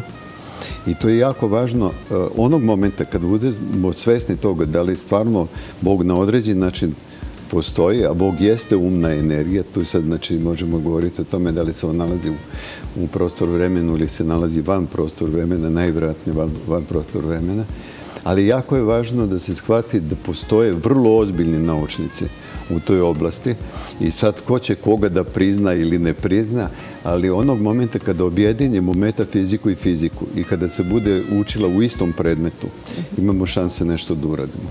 Sve dotle dok, dok se ne spaja u celinu nešto što, što jeste celina, a celina je nevidljivo i vidljivo zajedno. Dakle, kad se oni objedine, tada će moći da se misli o stvarnosti onako kakva jeste i da se dolazi. Zamislite da imate jedan tim gde su astrofizičari zajedno i sad oni što vide tamo na teleskopu, da imate tim drugih ljudi koji isto to posmatraju i tumače na svoj način. Koliko bi to doprinolo astrofizičari da e, e, fizičari med oni to vide Bolje i se gledavaju. drugih, pa da, da se negde dogovore oko toga šta je, šta je tu stvarno istina. Sve, sve jasno. Hajde vi da nam kažete, Aleksandre, e, nismo pomenuli e, i čuveno čovekovo sletenje na mesec. I sad tu postoje različite kontroverze. Jeste sleteo, nije sleteo, to je beše 69. godina, je li tako? Amerikanci i hiljade nekih e, situacija u kojima smo mogli da pogledamo i snimke i tako dalje. Šta vi kažete? Šta vas sad ja zapravo hoću da pitam? Ako je to se sve dogodilo i čovek je okay, uspeo da sleti na, na taj objekat koji se zove mesec, zašto više nikada nismo otišli na mesec? Pa, razlog jedan, u stvari imamo dva glavna razloga. Prvi je što je to veoma skupo, a drugo je zbog čega bismo još otišli. Pa recimo ako tamo postoje neki resursi da se oni iskoriste. Resursa, resursa i tekako još uvijek ima dovoljno na zemlji. Tako da bi eksploatisanje resursa na mesecu, sa meseca, u, na sadašnjem našem tehnološkom nivou bilo neisplativo skupo. A istraživanje? Skuplja bi bila dara nego mera. Da istražujete mesec, pošto je veoma blizu zemlje, možete sasvim dobro i više nego dobro kosmičkim sondama bez ljudske posade, kao što i radimo, kao što istražujemo i ispuštamo ih na mesec i dovodimo uzorke i oblećemo mesec, a možete sasvim dobri teleskopima sa zemlje i u orbiti oko zemlje. Mesec nam je blizak, tu nam je nadohvat ruke i tu nije nikakav problem istražiti. Slati čoveka na mesec u ovom trenutku nema nikakve potrebe. To što smo ga slali pre 50 godina i tekako imalo potrebe. Čovek nije postao na mesec iz naučnih razloga. Slanje čoveka na mesec je čisti politički čin. Jedna sila je trebala da pokaže drugoj ko je glavni. I to je uradila. Dobro. Kad je to dokazala, čemu dalje? A izuzetno je skup poduhvat. U ovom trenutku, dakle, to sad ponavljam, vađenje, odnosno eksploatacija resursa, prirodnih resursa sa meseca, bilo bi neisplativo skupo projekat. To, to, to, Neisplativo to sam skupo i nema razumela. nikakvog Ali e, šta, šta opravdanja se da tu se tako nešto pojavljuje e, kao, kao situacija? Veoma često se pominjalo i čak pravljanje baza na mesecu. Pa sad svi znamo kakvi tamo uslovi vladaju, pa to su bi bile neke baze pod kupolama da bi čovek mogao da živi i tako dalje. Pa imate i situacije u kojima se pričalo da se e, velikim milijarderima prodaju placevi na mesecu, pa se onda priča o turističkim putovanjima na mesec i tako dalje. Kako vi sve to sagledavate? To su, neke druge stvari su smešne, prodaja placeva i takve stvari, mislim, to su zaista, to možemo nazvati čiste gluposti. mislim, Dobro. Čiste gluposti kojima, na- nažalost, ovaj, smo izloženi sa, sa svih strana. Danas to je samo jedna u nizu takvih, takvih budalaština. Dobro. Ovaj, što se tiče turističkih odlazaka na mesec, pa sad na mesec, mi već imamo turističke odlaske u, u prostor van, van atmosferski prostor. Nije to na mesec, ali to je par stotina kilometara od zemlje, pa ti turisti, astroturisti orbitiraju, ovaj, to ima opravdanja. To, to sad praktikuju naročito Rusi. Rusiji. Jedan takav let u svemir, a, za takav let taj klijent koji ide daje po 20-30 miliona dolara Dobro to je izuzetno značaja suma za razvoj, dalji razvoj tehnologije i tako dalje. To se i radi. A kako vi s te strane, procenjujete? to ima Koliko smo udaljeni od tog momenta kada će ti neki turisti koji su spremni da plate moći da, da odu i da vide kako izgleda mesec? To odro mesec. Pa, u ovom trenutku je to suviše skupo. Mhm. To je već suviše skupo. Evo, odlazak turista u orbitu oko zemlje, kažemo na par priča. Mhm. stotina kilometara, je već reda 20 miliona dolara, toliko košta. Mhm. Odlazak na mesec je daleko skuplje. Daleko, neuporedivo skuplje. Zbog toga na meseci ne, ne šaljemo ljude. Ok, Uradili smo to par- par puta Dobro. E, Milane, e, ako se negde složimo da, da je svemir sastavljen od nekakve materije, vi sad znate sve šta tu dolazi u obzir, postoji nešto o čemu naučnici u posljednje vreme veoma često pričaju, a to je antimaterija. Jel možete nešto više da nam kažete o tome šta je antimaterija i zašto recimo od antimaterije nije napravljen kosmos? Antimaterija, e, to su atomi koji su sastavljeni e, na drugačiji, to znači oko normalnog, recimo, atoma vodonika, vi imate pozitivno naelektrisano jezgro, proton, oko, oko koga kruži negativno naelektrisani elektron. Kod antimaterije bilo bi obrnuto. Imali biste e, negativno naelektrisani antiproton oko, oko koga bi kružio pozitivno naelektrisani pozitron. Ako bi se e, materija i antimaterija susrele, uh -huh. one bi se pretvorile u čistu energiju. To naučnici kažu anihilirale bi se. Znači, u stvari, najisplativiji i najbolji izvor energije bi bio od materije ta, i antimaterije. Tako uh -huh. da, recimo, svojevremeno Jugaku, to je jedan japanski naučnik koji je razmatrao kako bi mogli da tražimo tragove neke veoma razvijene civilizacije koja je u stanju da upravlja procesima u svojoj galaksiji. Trebali bi da tražimo po njemu tragove izvora energije na bazi antimaterije. To bi bio najjači izvor energije na malom prostoru koji bi sigurno, e, ako bi se primetilo, imao jedino takvo objašnjenje. E sada, svakako moguće da postoje i čitave delovi kosmosa, recimo galaksije ili zvezde koje su od antimaterije. Mhm. Međutim, to je malo verovatno zato što je po svemu sudeći fizika se tako odvijala da je negde u e, ranim fazama razvoja univerzuma jednostavno materija prevladala.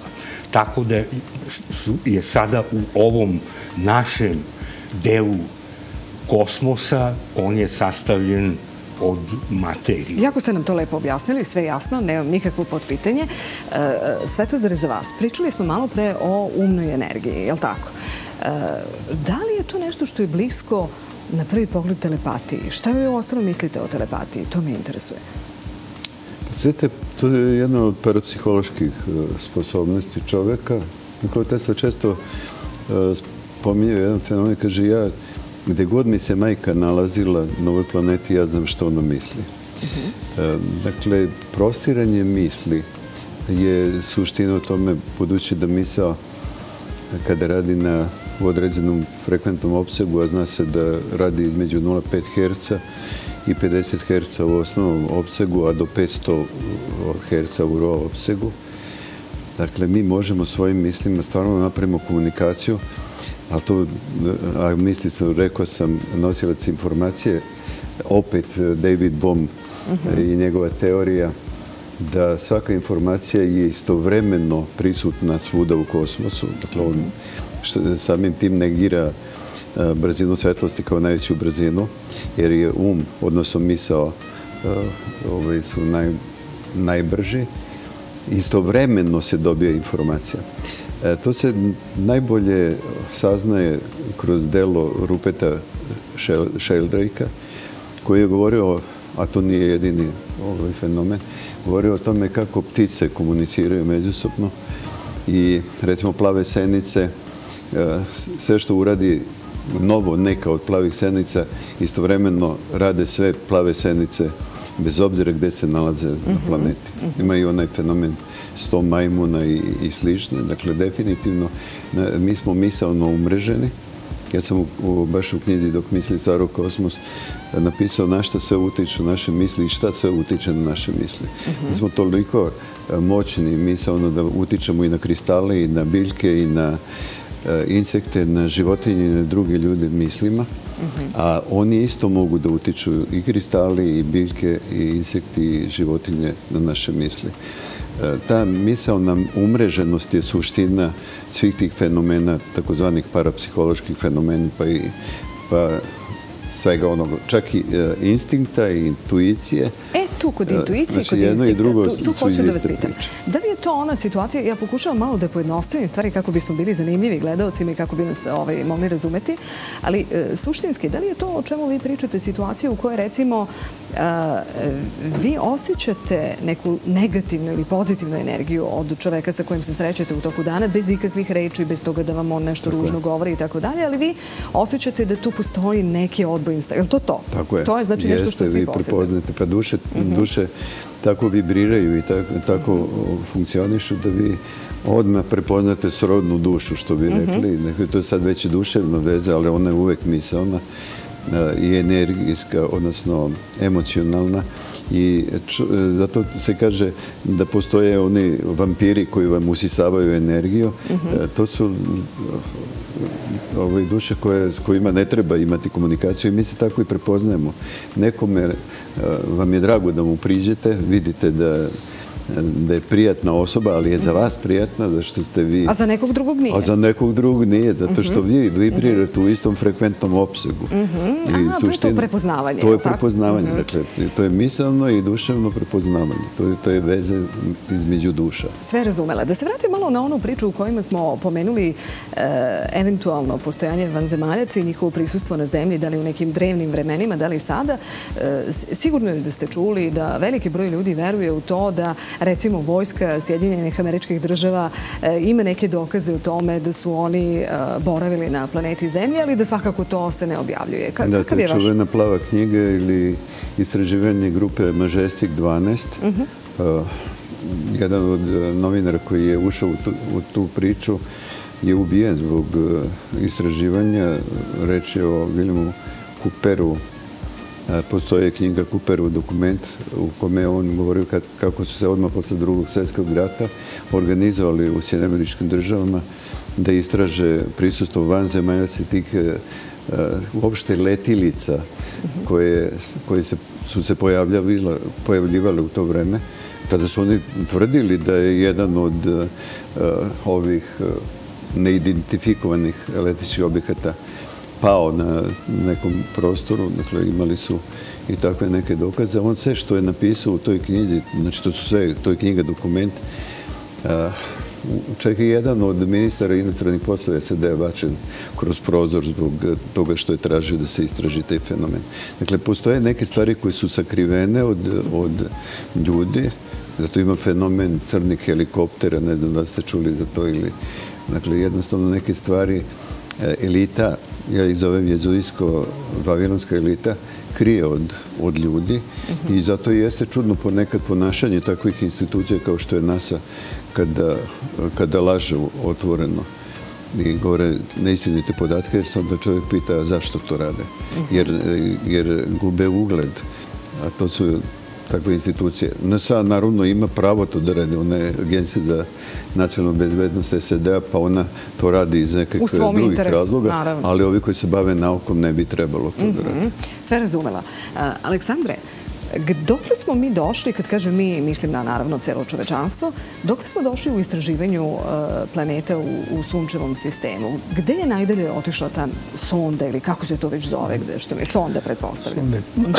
To su i pioniri i Voyageri. Pionir 10, Pionir 11 i Voyager 1 i Voyager 2. Pa oni su se udaljili od Sunca otprilike nekih reda veličine stotinak astronomskih jedinica. Astronomska jedinica je rastojanje Zemlja-Sunce. Znači na sto struko rastojanje Zemlja-Sunce. Oni su i dalje u sunčevom sistemu. Ovaj, I dalje su oni pod čvrstom, da kažem, gravitacionom rukom Sunca i ići će oni još dugo kroz sunčev sistem, ali su izašli iz ovog planetskog dela sunčevog sistema. Odavno su izašli iz planetskog dela sunčevog sistema. Ovaj, a pitanje je bilo dokle Upravo ste mi odgovorili, dok smo otišli i, i šta me još interesuje, tu bih dodala i sljedeće. Na osnovu tih informacija koje smo dobili na ovaj način šaljući sonde, šta smo zaključili? Jel postoje neke planete u našem okruženju koje mogu da se prilagode za život ljudi? A, To je veoma teško. Ovaj, što se tiče prilagođavanja postojećih planeta, odnosno poznatih nama planeta ovaj, u sunčevom sistemu, a, najbliža, najbliža na, po uslovima na svojoj površini, a, zemaljskim uslovima je Mars. Pa je i to daleko, daleko od toga da može da podrži život ovakav kakav je na zemlji. Dakle, vi biste morali da terraformirate Mars, da od Marsa napravite zemaljske uslove, a to je u ovom trenutku tehnološki daleka budućnost. Možemo tome samo da maštamo. Što se ostalih planeta tiče, one su još daleko od toga, još mnogo dalje od toga. Tako da A čekajte, da li smo uspjeli, sad to nisam negde, nisam vas pažljivo pratila, da li smo uspjeli sve planete u sunčevom sistemu da obiđemo i da zaključimo dakle, kakvi su preduslovi? To smo sve uradili, je li tako? Da, s tim što uz ogradu uh, Uran i Neptun, pa možemo kažemo i Merkur, su znatno manje istraženi u odnosu na ove preostale planete. Dakle, na Merkur smo poslali svega dve sonde, ne na Merkur, nego u blizinu Merkura, dve sonde svega, a što se tiče Urana i Neptuna svega po jednu. I to u prolet, pored Urana, znači jednokratni prolet i to je to. Tako da što se istraživanja sondama tiče, oni su najmanje pokriveni. Uran, Neptun i Merkur. Ovaj, a ove ostale planete znatno više. Da, malo pre ste rekli da te neke sonde e, su već na izlasku iz sunčevog sistema i Mhm. da će do toga doći kasnije ili pre. E, Šta me tu zanima? E, Da li ćemo mi i onu trenutka kada izađu iz sunčevog sistema dobijeti informacije? Je li to izvodljivo tehničko? A oni će slati, verovatno još uvek će imati snagu da neke slabe signale šalju, ali mi nismo više, mi jedva sad primamo signale i sa, sa Voyagera i Pionira. Dakle, snaga tih signala je već toliko slaba s obzirom na rastojanje, a intenzitet signala opada sa kvadratom rastojanja, tako da i najmoćniji radioteleskopi koje danas imamo na zemlji jedva primaju, već jedva, ono što kažu na jedvite jade dobijamo bilo kakav signal od njih. Tako da ćemo uskoro izgubiti vezu sa njima. Ćemo Dobro, izgubiti. znači još uvijek tu tehnički nismo dovoljno dorasli tome da... A šta je problem za, za ta neka a, daleka putovanja? Gorivo koje je problematično jer nemamo mogućnosti da putujemo tako daleko ili nešto drugo?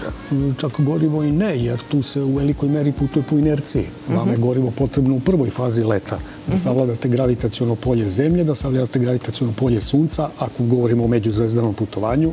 I kad, to, kad ste to uradili, vi dalje prosto gravitacionim zakonom idete do, do date tačke, pa onda opet kad se približite cilju, opet kočenja i tako dalje vam zahteva neki resurs goriva. Tako da gorivo je tu najmanji, u suštini najmanji problem. Ja sam mislila da je to najveće, evo sad ste me ne, to je, demantovali. to je najmanji problem. A, problem je uopšte sam koncept međuzvezdanih putovanja. Ukoliko je brzina svetlosti najveća dozvoljena brzina za objekte u svemiru, a za sad mi tako vidimo. Za sad mi ne znamo kako bismo nadmašili i prevarili brzinu svetlosti i tako dalje. Znači, ono što mi do sad znamo, to je da je to limit. Dakle, već i sa tom brzinom vama se pitanje, postavlja pitanje smisla međuzvezdanih putovanja i s čemu bi to služili, kakva bi bila komunikacija. Nama je najbliža zvezda udaljena 4,5 svetlosne godine. Što znači da svetlost, da putujete svetlosnom brzinom, što je nemoguće, kako nam se sad čini, vi biste putovali 4,5 godine. Informacija o tome s kojom komunikacija bi bila 4 godine i puta dva, pošto ovdje pošaljete signal pa povratak radi komunikacije, znači bar 8 godina. Sa najbližom zvezdom. Naša galaksija ima prečnik od 100.000 svetlosnih godina, zvezdani deo galaksije. Znači, u pitanju su hiljade svetlosnih godina. A, koja je svrha takvih putovanja, koja je, kak, kako bismo komunicirali?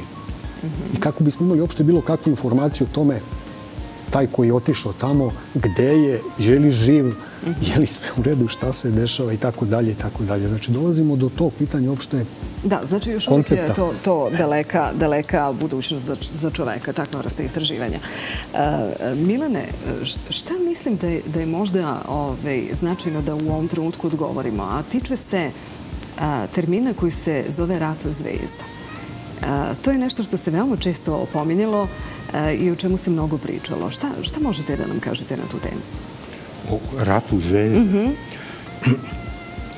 Svakako, on podrazumeva da postoji neka civilizacija koja bi e, došla ovde da se bori sa nama, međutim, ako bi takva, ci- ako bi takva civilizacija uspela nešto tako da ostvari, ona bi verovatno bila miroljubiva, zato što kao što smo malo pre čuli, potrebno je e, veliki i tehnološki razvoj da bi se tako nešto ostvarilo. Ako sa druge strane gledate na rad zvezda kao ovde rat na domaćem terenu, recimo između dve vele sile koje su u stanju da iz kosmosa izvrše neki napad, e, U svakom slučaju, ja se nadam da je čovečanstvo dovoljno razumno da do tako nečega ne dođe. Jer kao što i sam atomski rat bi u stvari verovatno doveo do uništenja ili do teškog iskušenja za našu civilizaciju, verovatno bi tako poguban bio i rat zvezda s tim što verovatno da će sa razvojem nauke doći doba kada će biti moguće da se iz kosmosa eh, da se kosmos iskoristi i u vojne svrhe, on se i sada već mhm. na neki način mhm. koristi, pošto za špioniranje, špijunski sateliti i mhm. slično, i svakako je da oni mogu eh, da nose i određena oružja protiv kojih će biti mnogo teže da se odbrani nego od konvencionalnog oružja. Razumem. Sateliti. To je jedna, jedna posebna situacija u kojoj običan čovjek kada razmišlja sateliti pa sad to negde stoji tamo negde u orbiti ili van orbite, to ćete vi da mi pomognete da, da, da definišem. Ja bih volio da smo zamenili pitanje. A, a, a više vam se dopada ono prethodno. Ne, ne, evo, Ali možete da odgovoriti. Ja sam doktor nauke iz teorije ratovanja pa smo mi uh -huh. rat zvezda učili još u Vojnoj akademiji pre više od 50 godina je, su bile te takve teme. A naravno, odgovorit ću na ovo, nego sam, hoću da samo kažem, e, to je zamišljena upravo borba između Sjedinjavačke države i SSR-a, tada NATO-a i Varšavskog ugovora. Mhm. I koncept e, se zvao Rad zvezda, tako da, to smo ga i učili. I sateliti su trebali e, da budu u tom ratu i između ostalog Eh, trebalo da postoji sateliti ubice koji treba da eh, ponište satelite suprotne strane, da oni ili ne obavljaju tu ulogu eh, izviđačke ovaj, komponente ili da one koji su uslovno rečeno naoruženi da unište. Međutim, koliko sam ja u toj ovaj, priči, a dosta pratim. E, jedno vreme su rekli da je šest satelita bilo za vreme rata u Bosni i Hercegovini e, iz Francuske i e, Nemačke i uopšte sa tog evropskog prostora i američki da su postavljeni iznad Bosne. E, sad ja sumnjam u to da je, da je to moguće. Iz prostog razloga vidite, dogodila se Srebrenica, ako su bili sateliti ti, onda su trebali da budu i satelitski snimci, jer još tamo pre 40 godina nama su govorili kako iz satelita može da se snimi i marka sata. Dakle, možda zamislite kako to sve izgleda. Ja mislim da može iz drona, a i satelita, oni su pokazali zapravo kroz praksu da, da ništa nisu iskoristili od satelita idealno je vreme bilo za vreme srebreničkih tih e, sukoba. Ne postoji ni jedan jedini snimak e, satelitski ne postoje ni drugi snimci da se dogodilo to u Srebrenici, da nema ovih ljudi koji pričaju e, šta se sve tamo dogodilo, ja više ne bih verovao ni da se dogodilo išta tamo, jer prosto izgleda su svi zakazali, čak i mobilni telefoni i fotoaparati, i sve to. da se dogodili takvi zločini, mi, bi bili, e, mi bismo bili oblepljeni plakatima o našim zločinima, postoje samo, samo priče, i naravno e, svedoci svako, svako govore ono što njemu odgovara. Znači, sateliti po meni nisu e, bili u funkciji ako postoje i ako su tu do, ovaj, dovučeni, premešteni, ako postoje ti stacionarni sateliti, e, onda je trebalo da, da budu upotrebljeni baš za te svrhe za koju su nad, nad tim ratištem bili. Dakle, što se tiče satelita, sve je sumnjivije.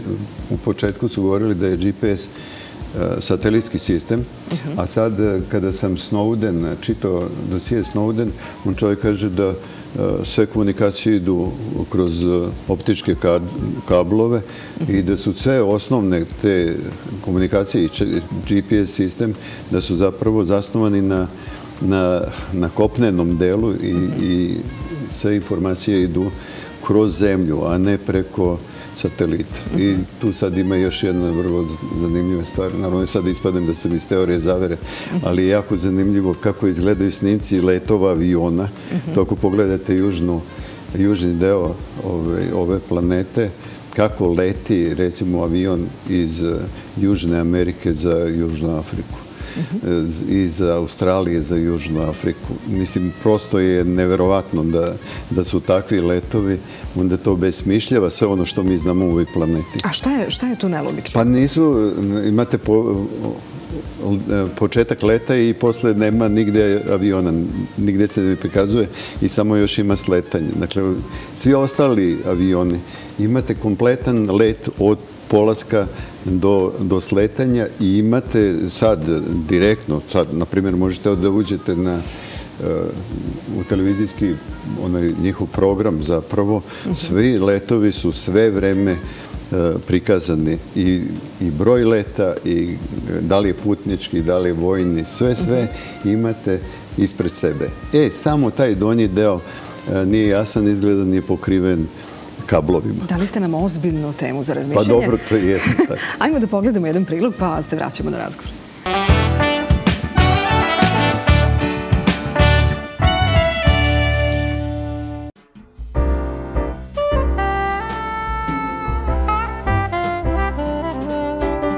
Jedan od najvećih proizvođača mobilnih telefona današnjice, kompanija Huawei, pre nekoliko dana je domaćem tržištu i gostima na spektakularan način predstavila prvu inteligentnu mašinu, mobilni telefon sa veštačkom inteligencijom Huawei 10 Mate.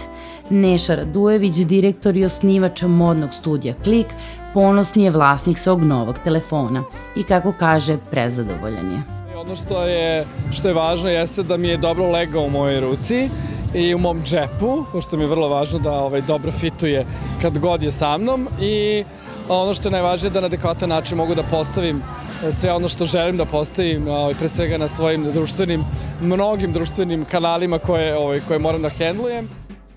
Iskoristili smo priliku i pitali Nešu Radujevića da li misli da ima života i van naše planete.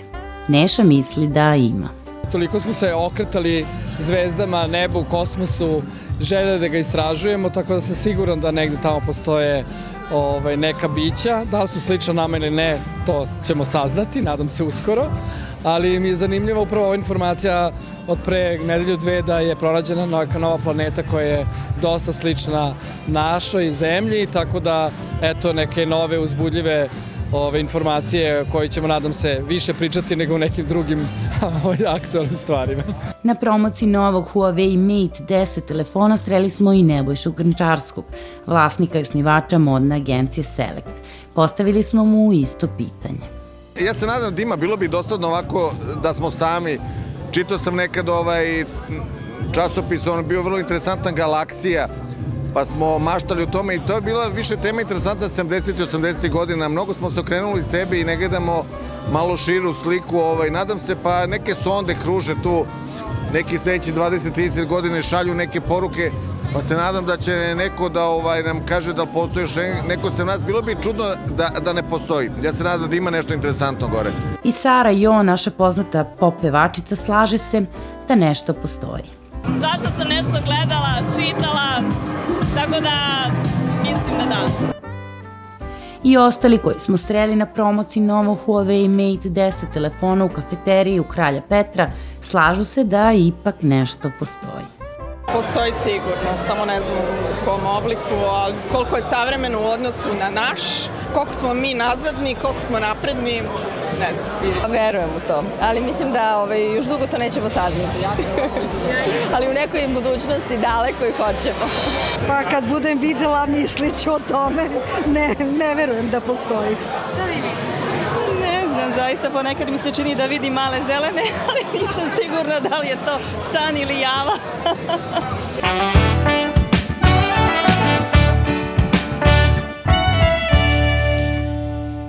tako, bili su simpatični ovi sagovornici. E, mobilni telefoni, hajte nešto da nam kažete o tome. Evo videli smo da, da idemo sad korak napred. Ja da sam čekao pitanje pravilno. Uh -huh.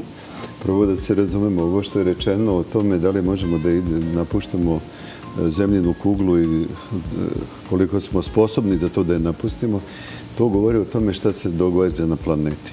A događa se kontrola kretanja ljudi i kontrola uma. Zašto je potrebna kontrola kretanja ljudi i kontrola uma? A onda se radi i mobilnim telefonima.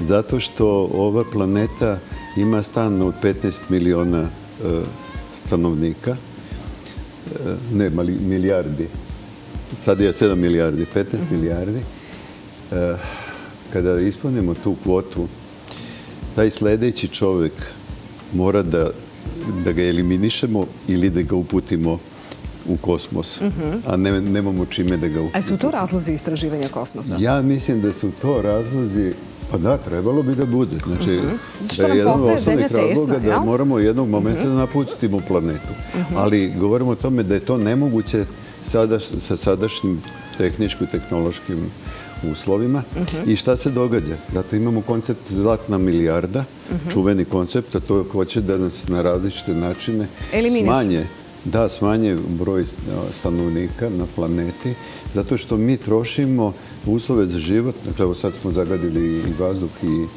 i zemlju i vodu i praktično e, nas je sve više, sve manje resursa i još ti resursi su sve e, opasniji. E, zašto je sad ovde, gde su tu mobilni telefoni? Upravo u kontroli kretanja ljudi i kontroli uma. Dakle, nas sve vreme imaju pod kontrolom i to se događa. Prvi put kad sam pisao ovu knjigu Nestalog velikog vrata, govorio sam o neki 4000 kamera u Londonu. To je bilo tamo 2007. recimo. Sada kod nas su svuda kamere. A mobilni telefoni su došli dotle da vi kad imate mobilni telefon e, e, u NASI, u NSA, ne NASI nego u Agenciji za nacionalnu bezbednost, e, SAD-a imaju podatak gde se nalazite. Mhm. Dakle, svako od nas kad ima mobilni telefon kod sebe, tačno se zna gde se on nalazi. A sad, pošto imamo u novu generaciju, vi znate da su lične karte uvođene sa, sa tom takozvanom smart tehnologijom, mikročipovane. Znači, mikročip, gde god vi imate karticu i stavite, vi, vi sebe legitimišete i kažete ja se sad nalazim u prodavnici na toj kasi. To su i one koje postoje na ličnoj karti, je li tako? To važi i za, za autobus, znači ako, ako mm -hmm. negde imate sa mikročipom. A za mobilne telefone ovo što se sad događa, to je jedna, jedan korek dalje. Imate, imali ste sve vreme e, ovaj mikročipove u njima, to nije bilo sporno, ali ovog puta biometrijska kontrola. Znači, vi ćete očima da aktivirate telefon. To je nova generacija. Više nije touch, nije na dodir, nego, nego je i sa očima. To rade već, snimaju nam oči kad vadimo lične karte i tako dalje. To je biometrijska kontrola. I eh, idemo u tu eru gdje ćete prolaziti, još ako hoćete budete mikročipovani, prolazit ćete eh, kupovati bez eh, da vas neko zaustavlja, prolazite preko granice bez zaustavljanja, će tačno znati da sve to zaradiš tada prolazi tamo. Ako nekome ne odgovara, sa ovim će završiti ovaj svoj deo, ako nekome ne odgovara, sve to zaradiš, on može da bude poništen u svakom trenutku. Mhm. Dakle, zna se tačno gde je i samo neko treba da kaže on nam ne treba. A da ne pišemo o zamene identiteta i sve manipulacije koje se mogu dogoditi. Vidim ja da ću ja imati još, još puno tema o kojima ću razgovarati sa vama. E, Milene, šta vi kažete o, o razlozima za istraživanje svemira? Evo, negde smo čuli jedan od osnovnih razloga, a to je da planeta Zemlja postaje pretesna za veliki broj ljudi koji se umnožava tokom nekih budućih godina. Jer postoji još neki razlog, jer to čovekova ona obična znati želja da vidimo šta tamo ima.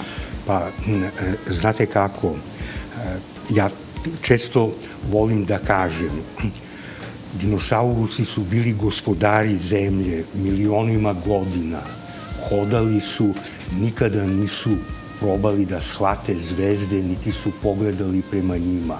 Mhm. I iz kosmosa je došla njihova smrt. Jedan od razloga istraživanja kosmosa je da izbegnemo njihovu sudbinu, da shvatimo prošlost univerzuma i da probamo da nazremo njegovu budućnost. Koliko je nauka uh, se razvija. Evo, videli ste ovaj prilog koji ste prikazali. 2017. je Nobelova nagrada don, e, data ljudima, Vajsu i ekipi koji su to otkrili. Oni su to otkrili 2015. godine, prvi e, snimak gravitacionih talasa, prvu potvrdu. Ti gravitacioni talasi bili su predviđeni naukom još 1905. godine od Alberta Einsteina, a instrument pomoću koga su oni to uradili je zamislio u 19. veku Albert Michelson koji je za razvoj toga i sličnih instrumenta dobio početkom veka Nobelovu nagradu.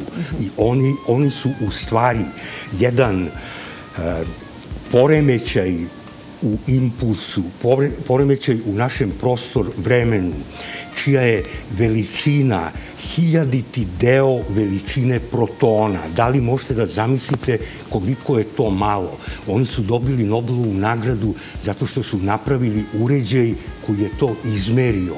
Zato što su u stvari napravili uređaj koji je zamislio u 19. veku Nobelovac zbog toga uređaja.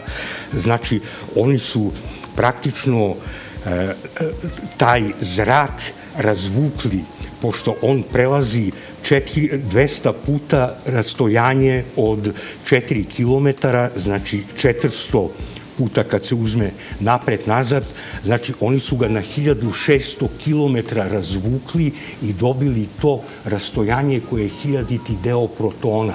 Od tada oni su još četiri takva sudara crnih rupa. Taj, sam taj prvi sudar, e, znači, nauka je uspela da vidi nešto što se desilo pre milijardu i e, 500 miliona godina, kada su se dve crne rupe koje su veličine, jedna je 31 naše sunce, druga je negde 20 i nešto, spojile u jedno, a svaka od njih je veličine ovećeg grada na zemlji.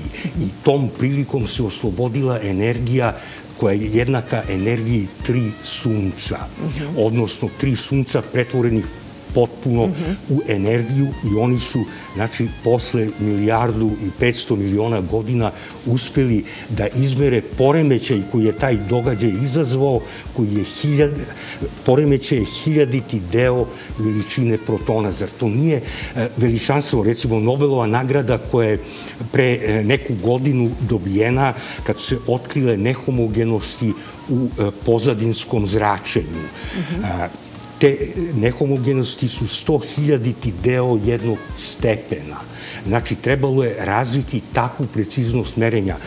Prilikom merenja gravitacijonih talasa, greške su toliko velike, e, tu su postojala tri uređaja, jedan u Italiji Virgo i dva u Americi Ligo, i oni su potvrdili da su svi videli e, taj događaj. To mhm. znači četiri takva sudara i sad nedavno su takođe e, sudar dve e, neutronske zvezde videli. A već se gradi za 2034. godinu mhm. takav uređaj mhm. koji će biti veliki sa 2,5 miliona kilometara. To znači, eh, on će, eh, projekat se zove Liza i to su u stvari dva kraka, u stvari baterija od tri satelita koji su na rastojanju od 2,5 miliona kilometara pod pravim uglom, koji će eh, imati do sada nezamislivu preciznost. E, ono što hoću da kažem, koliko se za razliku od raznih kvazi naučnih naklapanja nauka razvija i ima sve veće mogućnosti i imaće sve veće mogućnosti.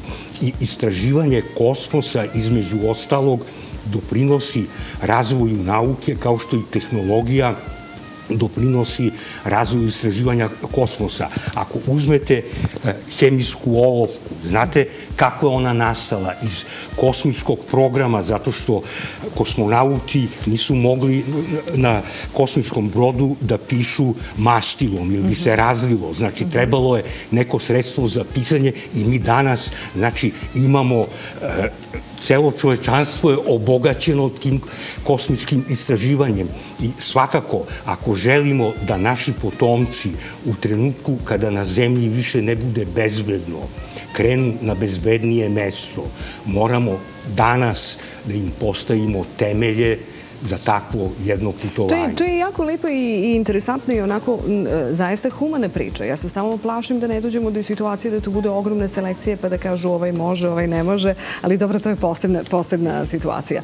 E, šta hoću da pitam vas e, još malo pa, pa, pa će kraj emisije, ali na osnovu priče koju ste ispričali do sada, da li se može protiv globalizacije koje negde stiče se utisak hoće sve da nas uniformiše? Da li tim čipovanjem ili na bilo koji drugi način? Jel možemo mi nekako nekako kao pojedinci da se borimo protiv toga?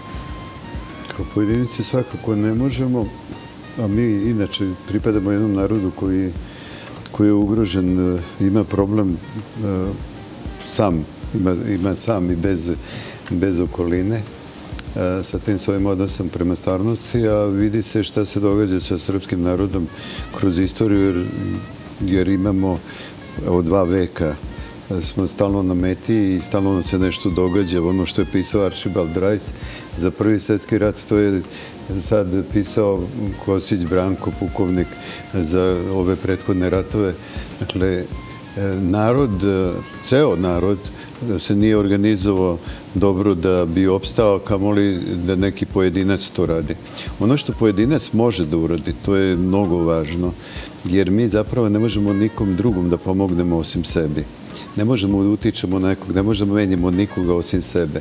E ta, e, to što možemo da uradimo, to je zapravo najveće oružje e, i u ovom svetu u kome se nalazimo. Mislim da može e, svako od nas, ukoliko čuva svoju dušu, da napravi odlične uslove za, za svoj život, a samim tim kada, kada se kao ličnost popravlja ili duševno popravlja, on zapravo utiče na sve oko sebe i njih e, isto uzdiže na viši nivo i onda je najvažnije zapravo šta taj pojedinac radi, kako on misli, kako, e, šta govori, kako se ponaša. Eto načina da popravimo i društvo i svet.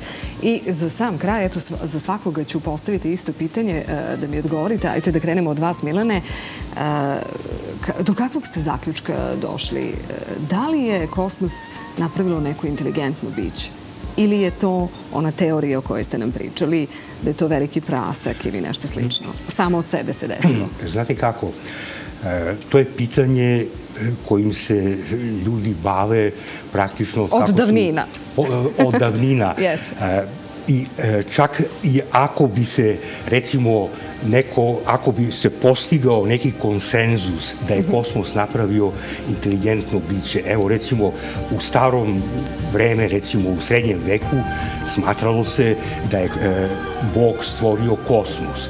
Pojedinci su se bavili pitanjem a šta je Bog radio pre nego što je stvorio kosmos. U mhm. šali su im neki odgovarali, spremao je pakao za one koji postavljaju takva pitanja. Kant, Kant je, recimo, e, se pitao, dobro, ako je kosmos nastao u nekom trenutku, zbog čega je bilo potrebno beskonačno vreme da do tog nastanka dođe. A ako je beskonačno postojao, zašto je tek sada ovakav kakav je, zašto nije takav bio od početka. Tako da, e, znate, to je na neki način i u prirodi nauke i u prirodi ljudi. Rešenje nekog problema je dobro ako rađa nova pitanja. Ja sam samo od svega ovoga što ste izgovorili shvatila da sam ja u najvećem problemu jer ja postavljam pitanja, tako da ću najgore proći. Ali hajte vi, Aleksandre, da, da mi odgovorite. Dakle, za vas, e, kosmos, je moguće je da je to stvorilo neko inteligentno biće? Pa, ako bih tvrdio da je nemoguće, morao bih da, da dokažem zašto je to mhm. nemoguće. Prema mhm. tome, moguće sve što izmaštamo u principu u nekom instanci daleko je moguće. Ali Čemu takva pretpostavka? To je za mene u domenu fantazije. Mhm. Ono što mi možemo je da koristimo svoju inteligenciju, da koristimo svoju moć i da to istražujemo. Mhm. Zato imamo nauku. Nauku je čovjek ismislio kao jedan metod kojim će da istražuje prirodu, pa između ostalog da istražuje pitanje kako je kosmos nastao. Ono kako mi sad vidimo, po onome što sad znamo, kosmos je nastao u velikom prasku. Bar ovaj domen kosmosa, bar pitanje da li je kosmos koji mi percipiramo, primamo informacije ceo kosmos. Razumete? E, tako da, i ako pretpostavimo da je čovek, odnosno neko inteligentno biće stvorilo kosmos, Bog stvorio kosmos, pa nisam odgovorio na pitanje. Pa i taj Bog i to biće nešto. Dakle, i on je deo nekog kosmosa. I on je kosmos. Kako je on, sta, kako je on nastao? Kako, na koji način ga je on stvorio? To je ono što nauka hoće da sazna, mehanizam. To je ono što nas interesuje. Samo reći Bog je stvorio ili neko inteligentno piće, to nije odgovor na pitanje. Čak mi se čini da je to bežanje od odgovora. Dobro, hvala. Šta kažete vi, Svetozare, za kraj? Meni je jako drago kad e, sam sa e, pravim naučnicima, jer to znači zaista, e, to je pogled iz jedne dimenzije. E, To je naučna dimenzija. Tu, eh, tu više nema ni filozofskog pristupa, a najmanje teozofskog. E, Ono, ne, ne kritikujem, normalno da svako od nas misli tako pomisli. Ne, postavlja se pitanje otkud nam ta inteligencija. Ne može da, ne može da nastane inteligencija iz velikog praksa, praska. Znači, definitivno, kakvim god slaganjem se to dogodilo, nikako to ne bi moglo da se dogodi. Ono što mi, e, kad razmišljamo o sebi, e, o svemu, ne samo o sebi, onda e, po analogiji zaključujemo da, da to nešto što zovemo Bog postoji. I da je i u teozofiji, i u okultizmu, i u filozofiji, pa i u nauci se govori o Bogu. Kvantifizičari govore isto, na primjer, govore o jedinstvenom polju inteligencije prirode. To, je, to govore temovci, na primjer. Dobijali su isto velike nagrade i, i u, zlato u, u težini čoveka koji je dobio nagrade za te naučne postignuća. Dakle, ne može um da, da nastane slaganjem eh, nekakvih elemenata, hemijskih elemenata. E sad, mi to radimo po analogiji, svi. I naučni, dakle, svaki naučni pristup je uvek osnovna metoda je analogija. To je, to je najbolja metoda za, za post, uh, ajde kažem, pristup e, stvarnosti i istraživanje stvarnosti. O, vraćamo se na početak. Onog momenta kad se spoji svi ti pristupi u jedan celovit pristup, onda ćemo doći do istine. Mi za sad znamo samo da je Bog nesaznatljiv, ja nisam religijski ovaj, čovjek, ne, ne spadam u tu kategoriju. Jako mi zameraju sveštenici kad e, ne kažem ja sam pravoslavni srbin, ne kažem samo da sam srbin. Mhm. Lepo ste rekli. Došli smo ponovo na početak, odakle smo krenuli, tu smo se vratili. Meni ostaje da vam se puno zahvalim. Bilo mi je stvarno e, zadovoljstvo da razgovaram sa vama u ovih proteklih sat, skoro dva sata. I svakako sam puno naučila, verujem i naši gledalci. Hvala još jednom. A vi, poštovani gledalci, ostanite uz Studio B.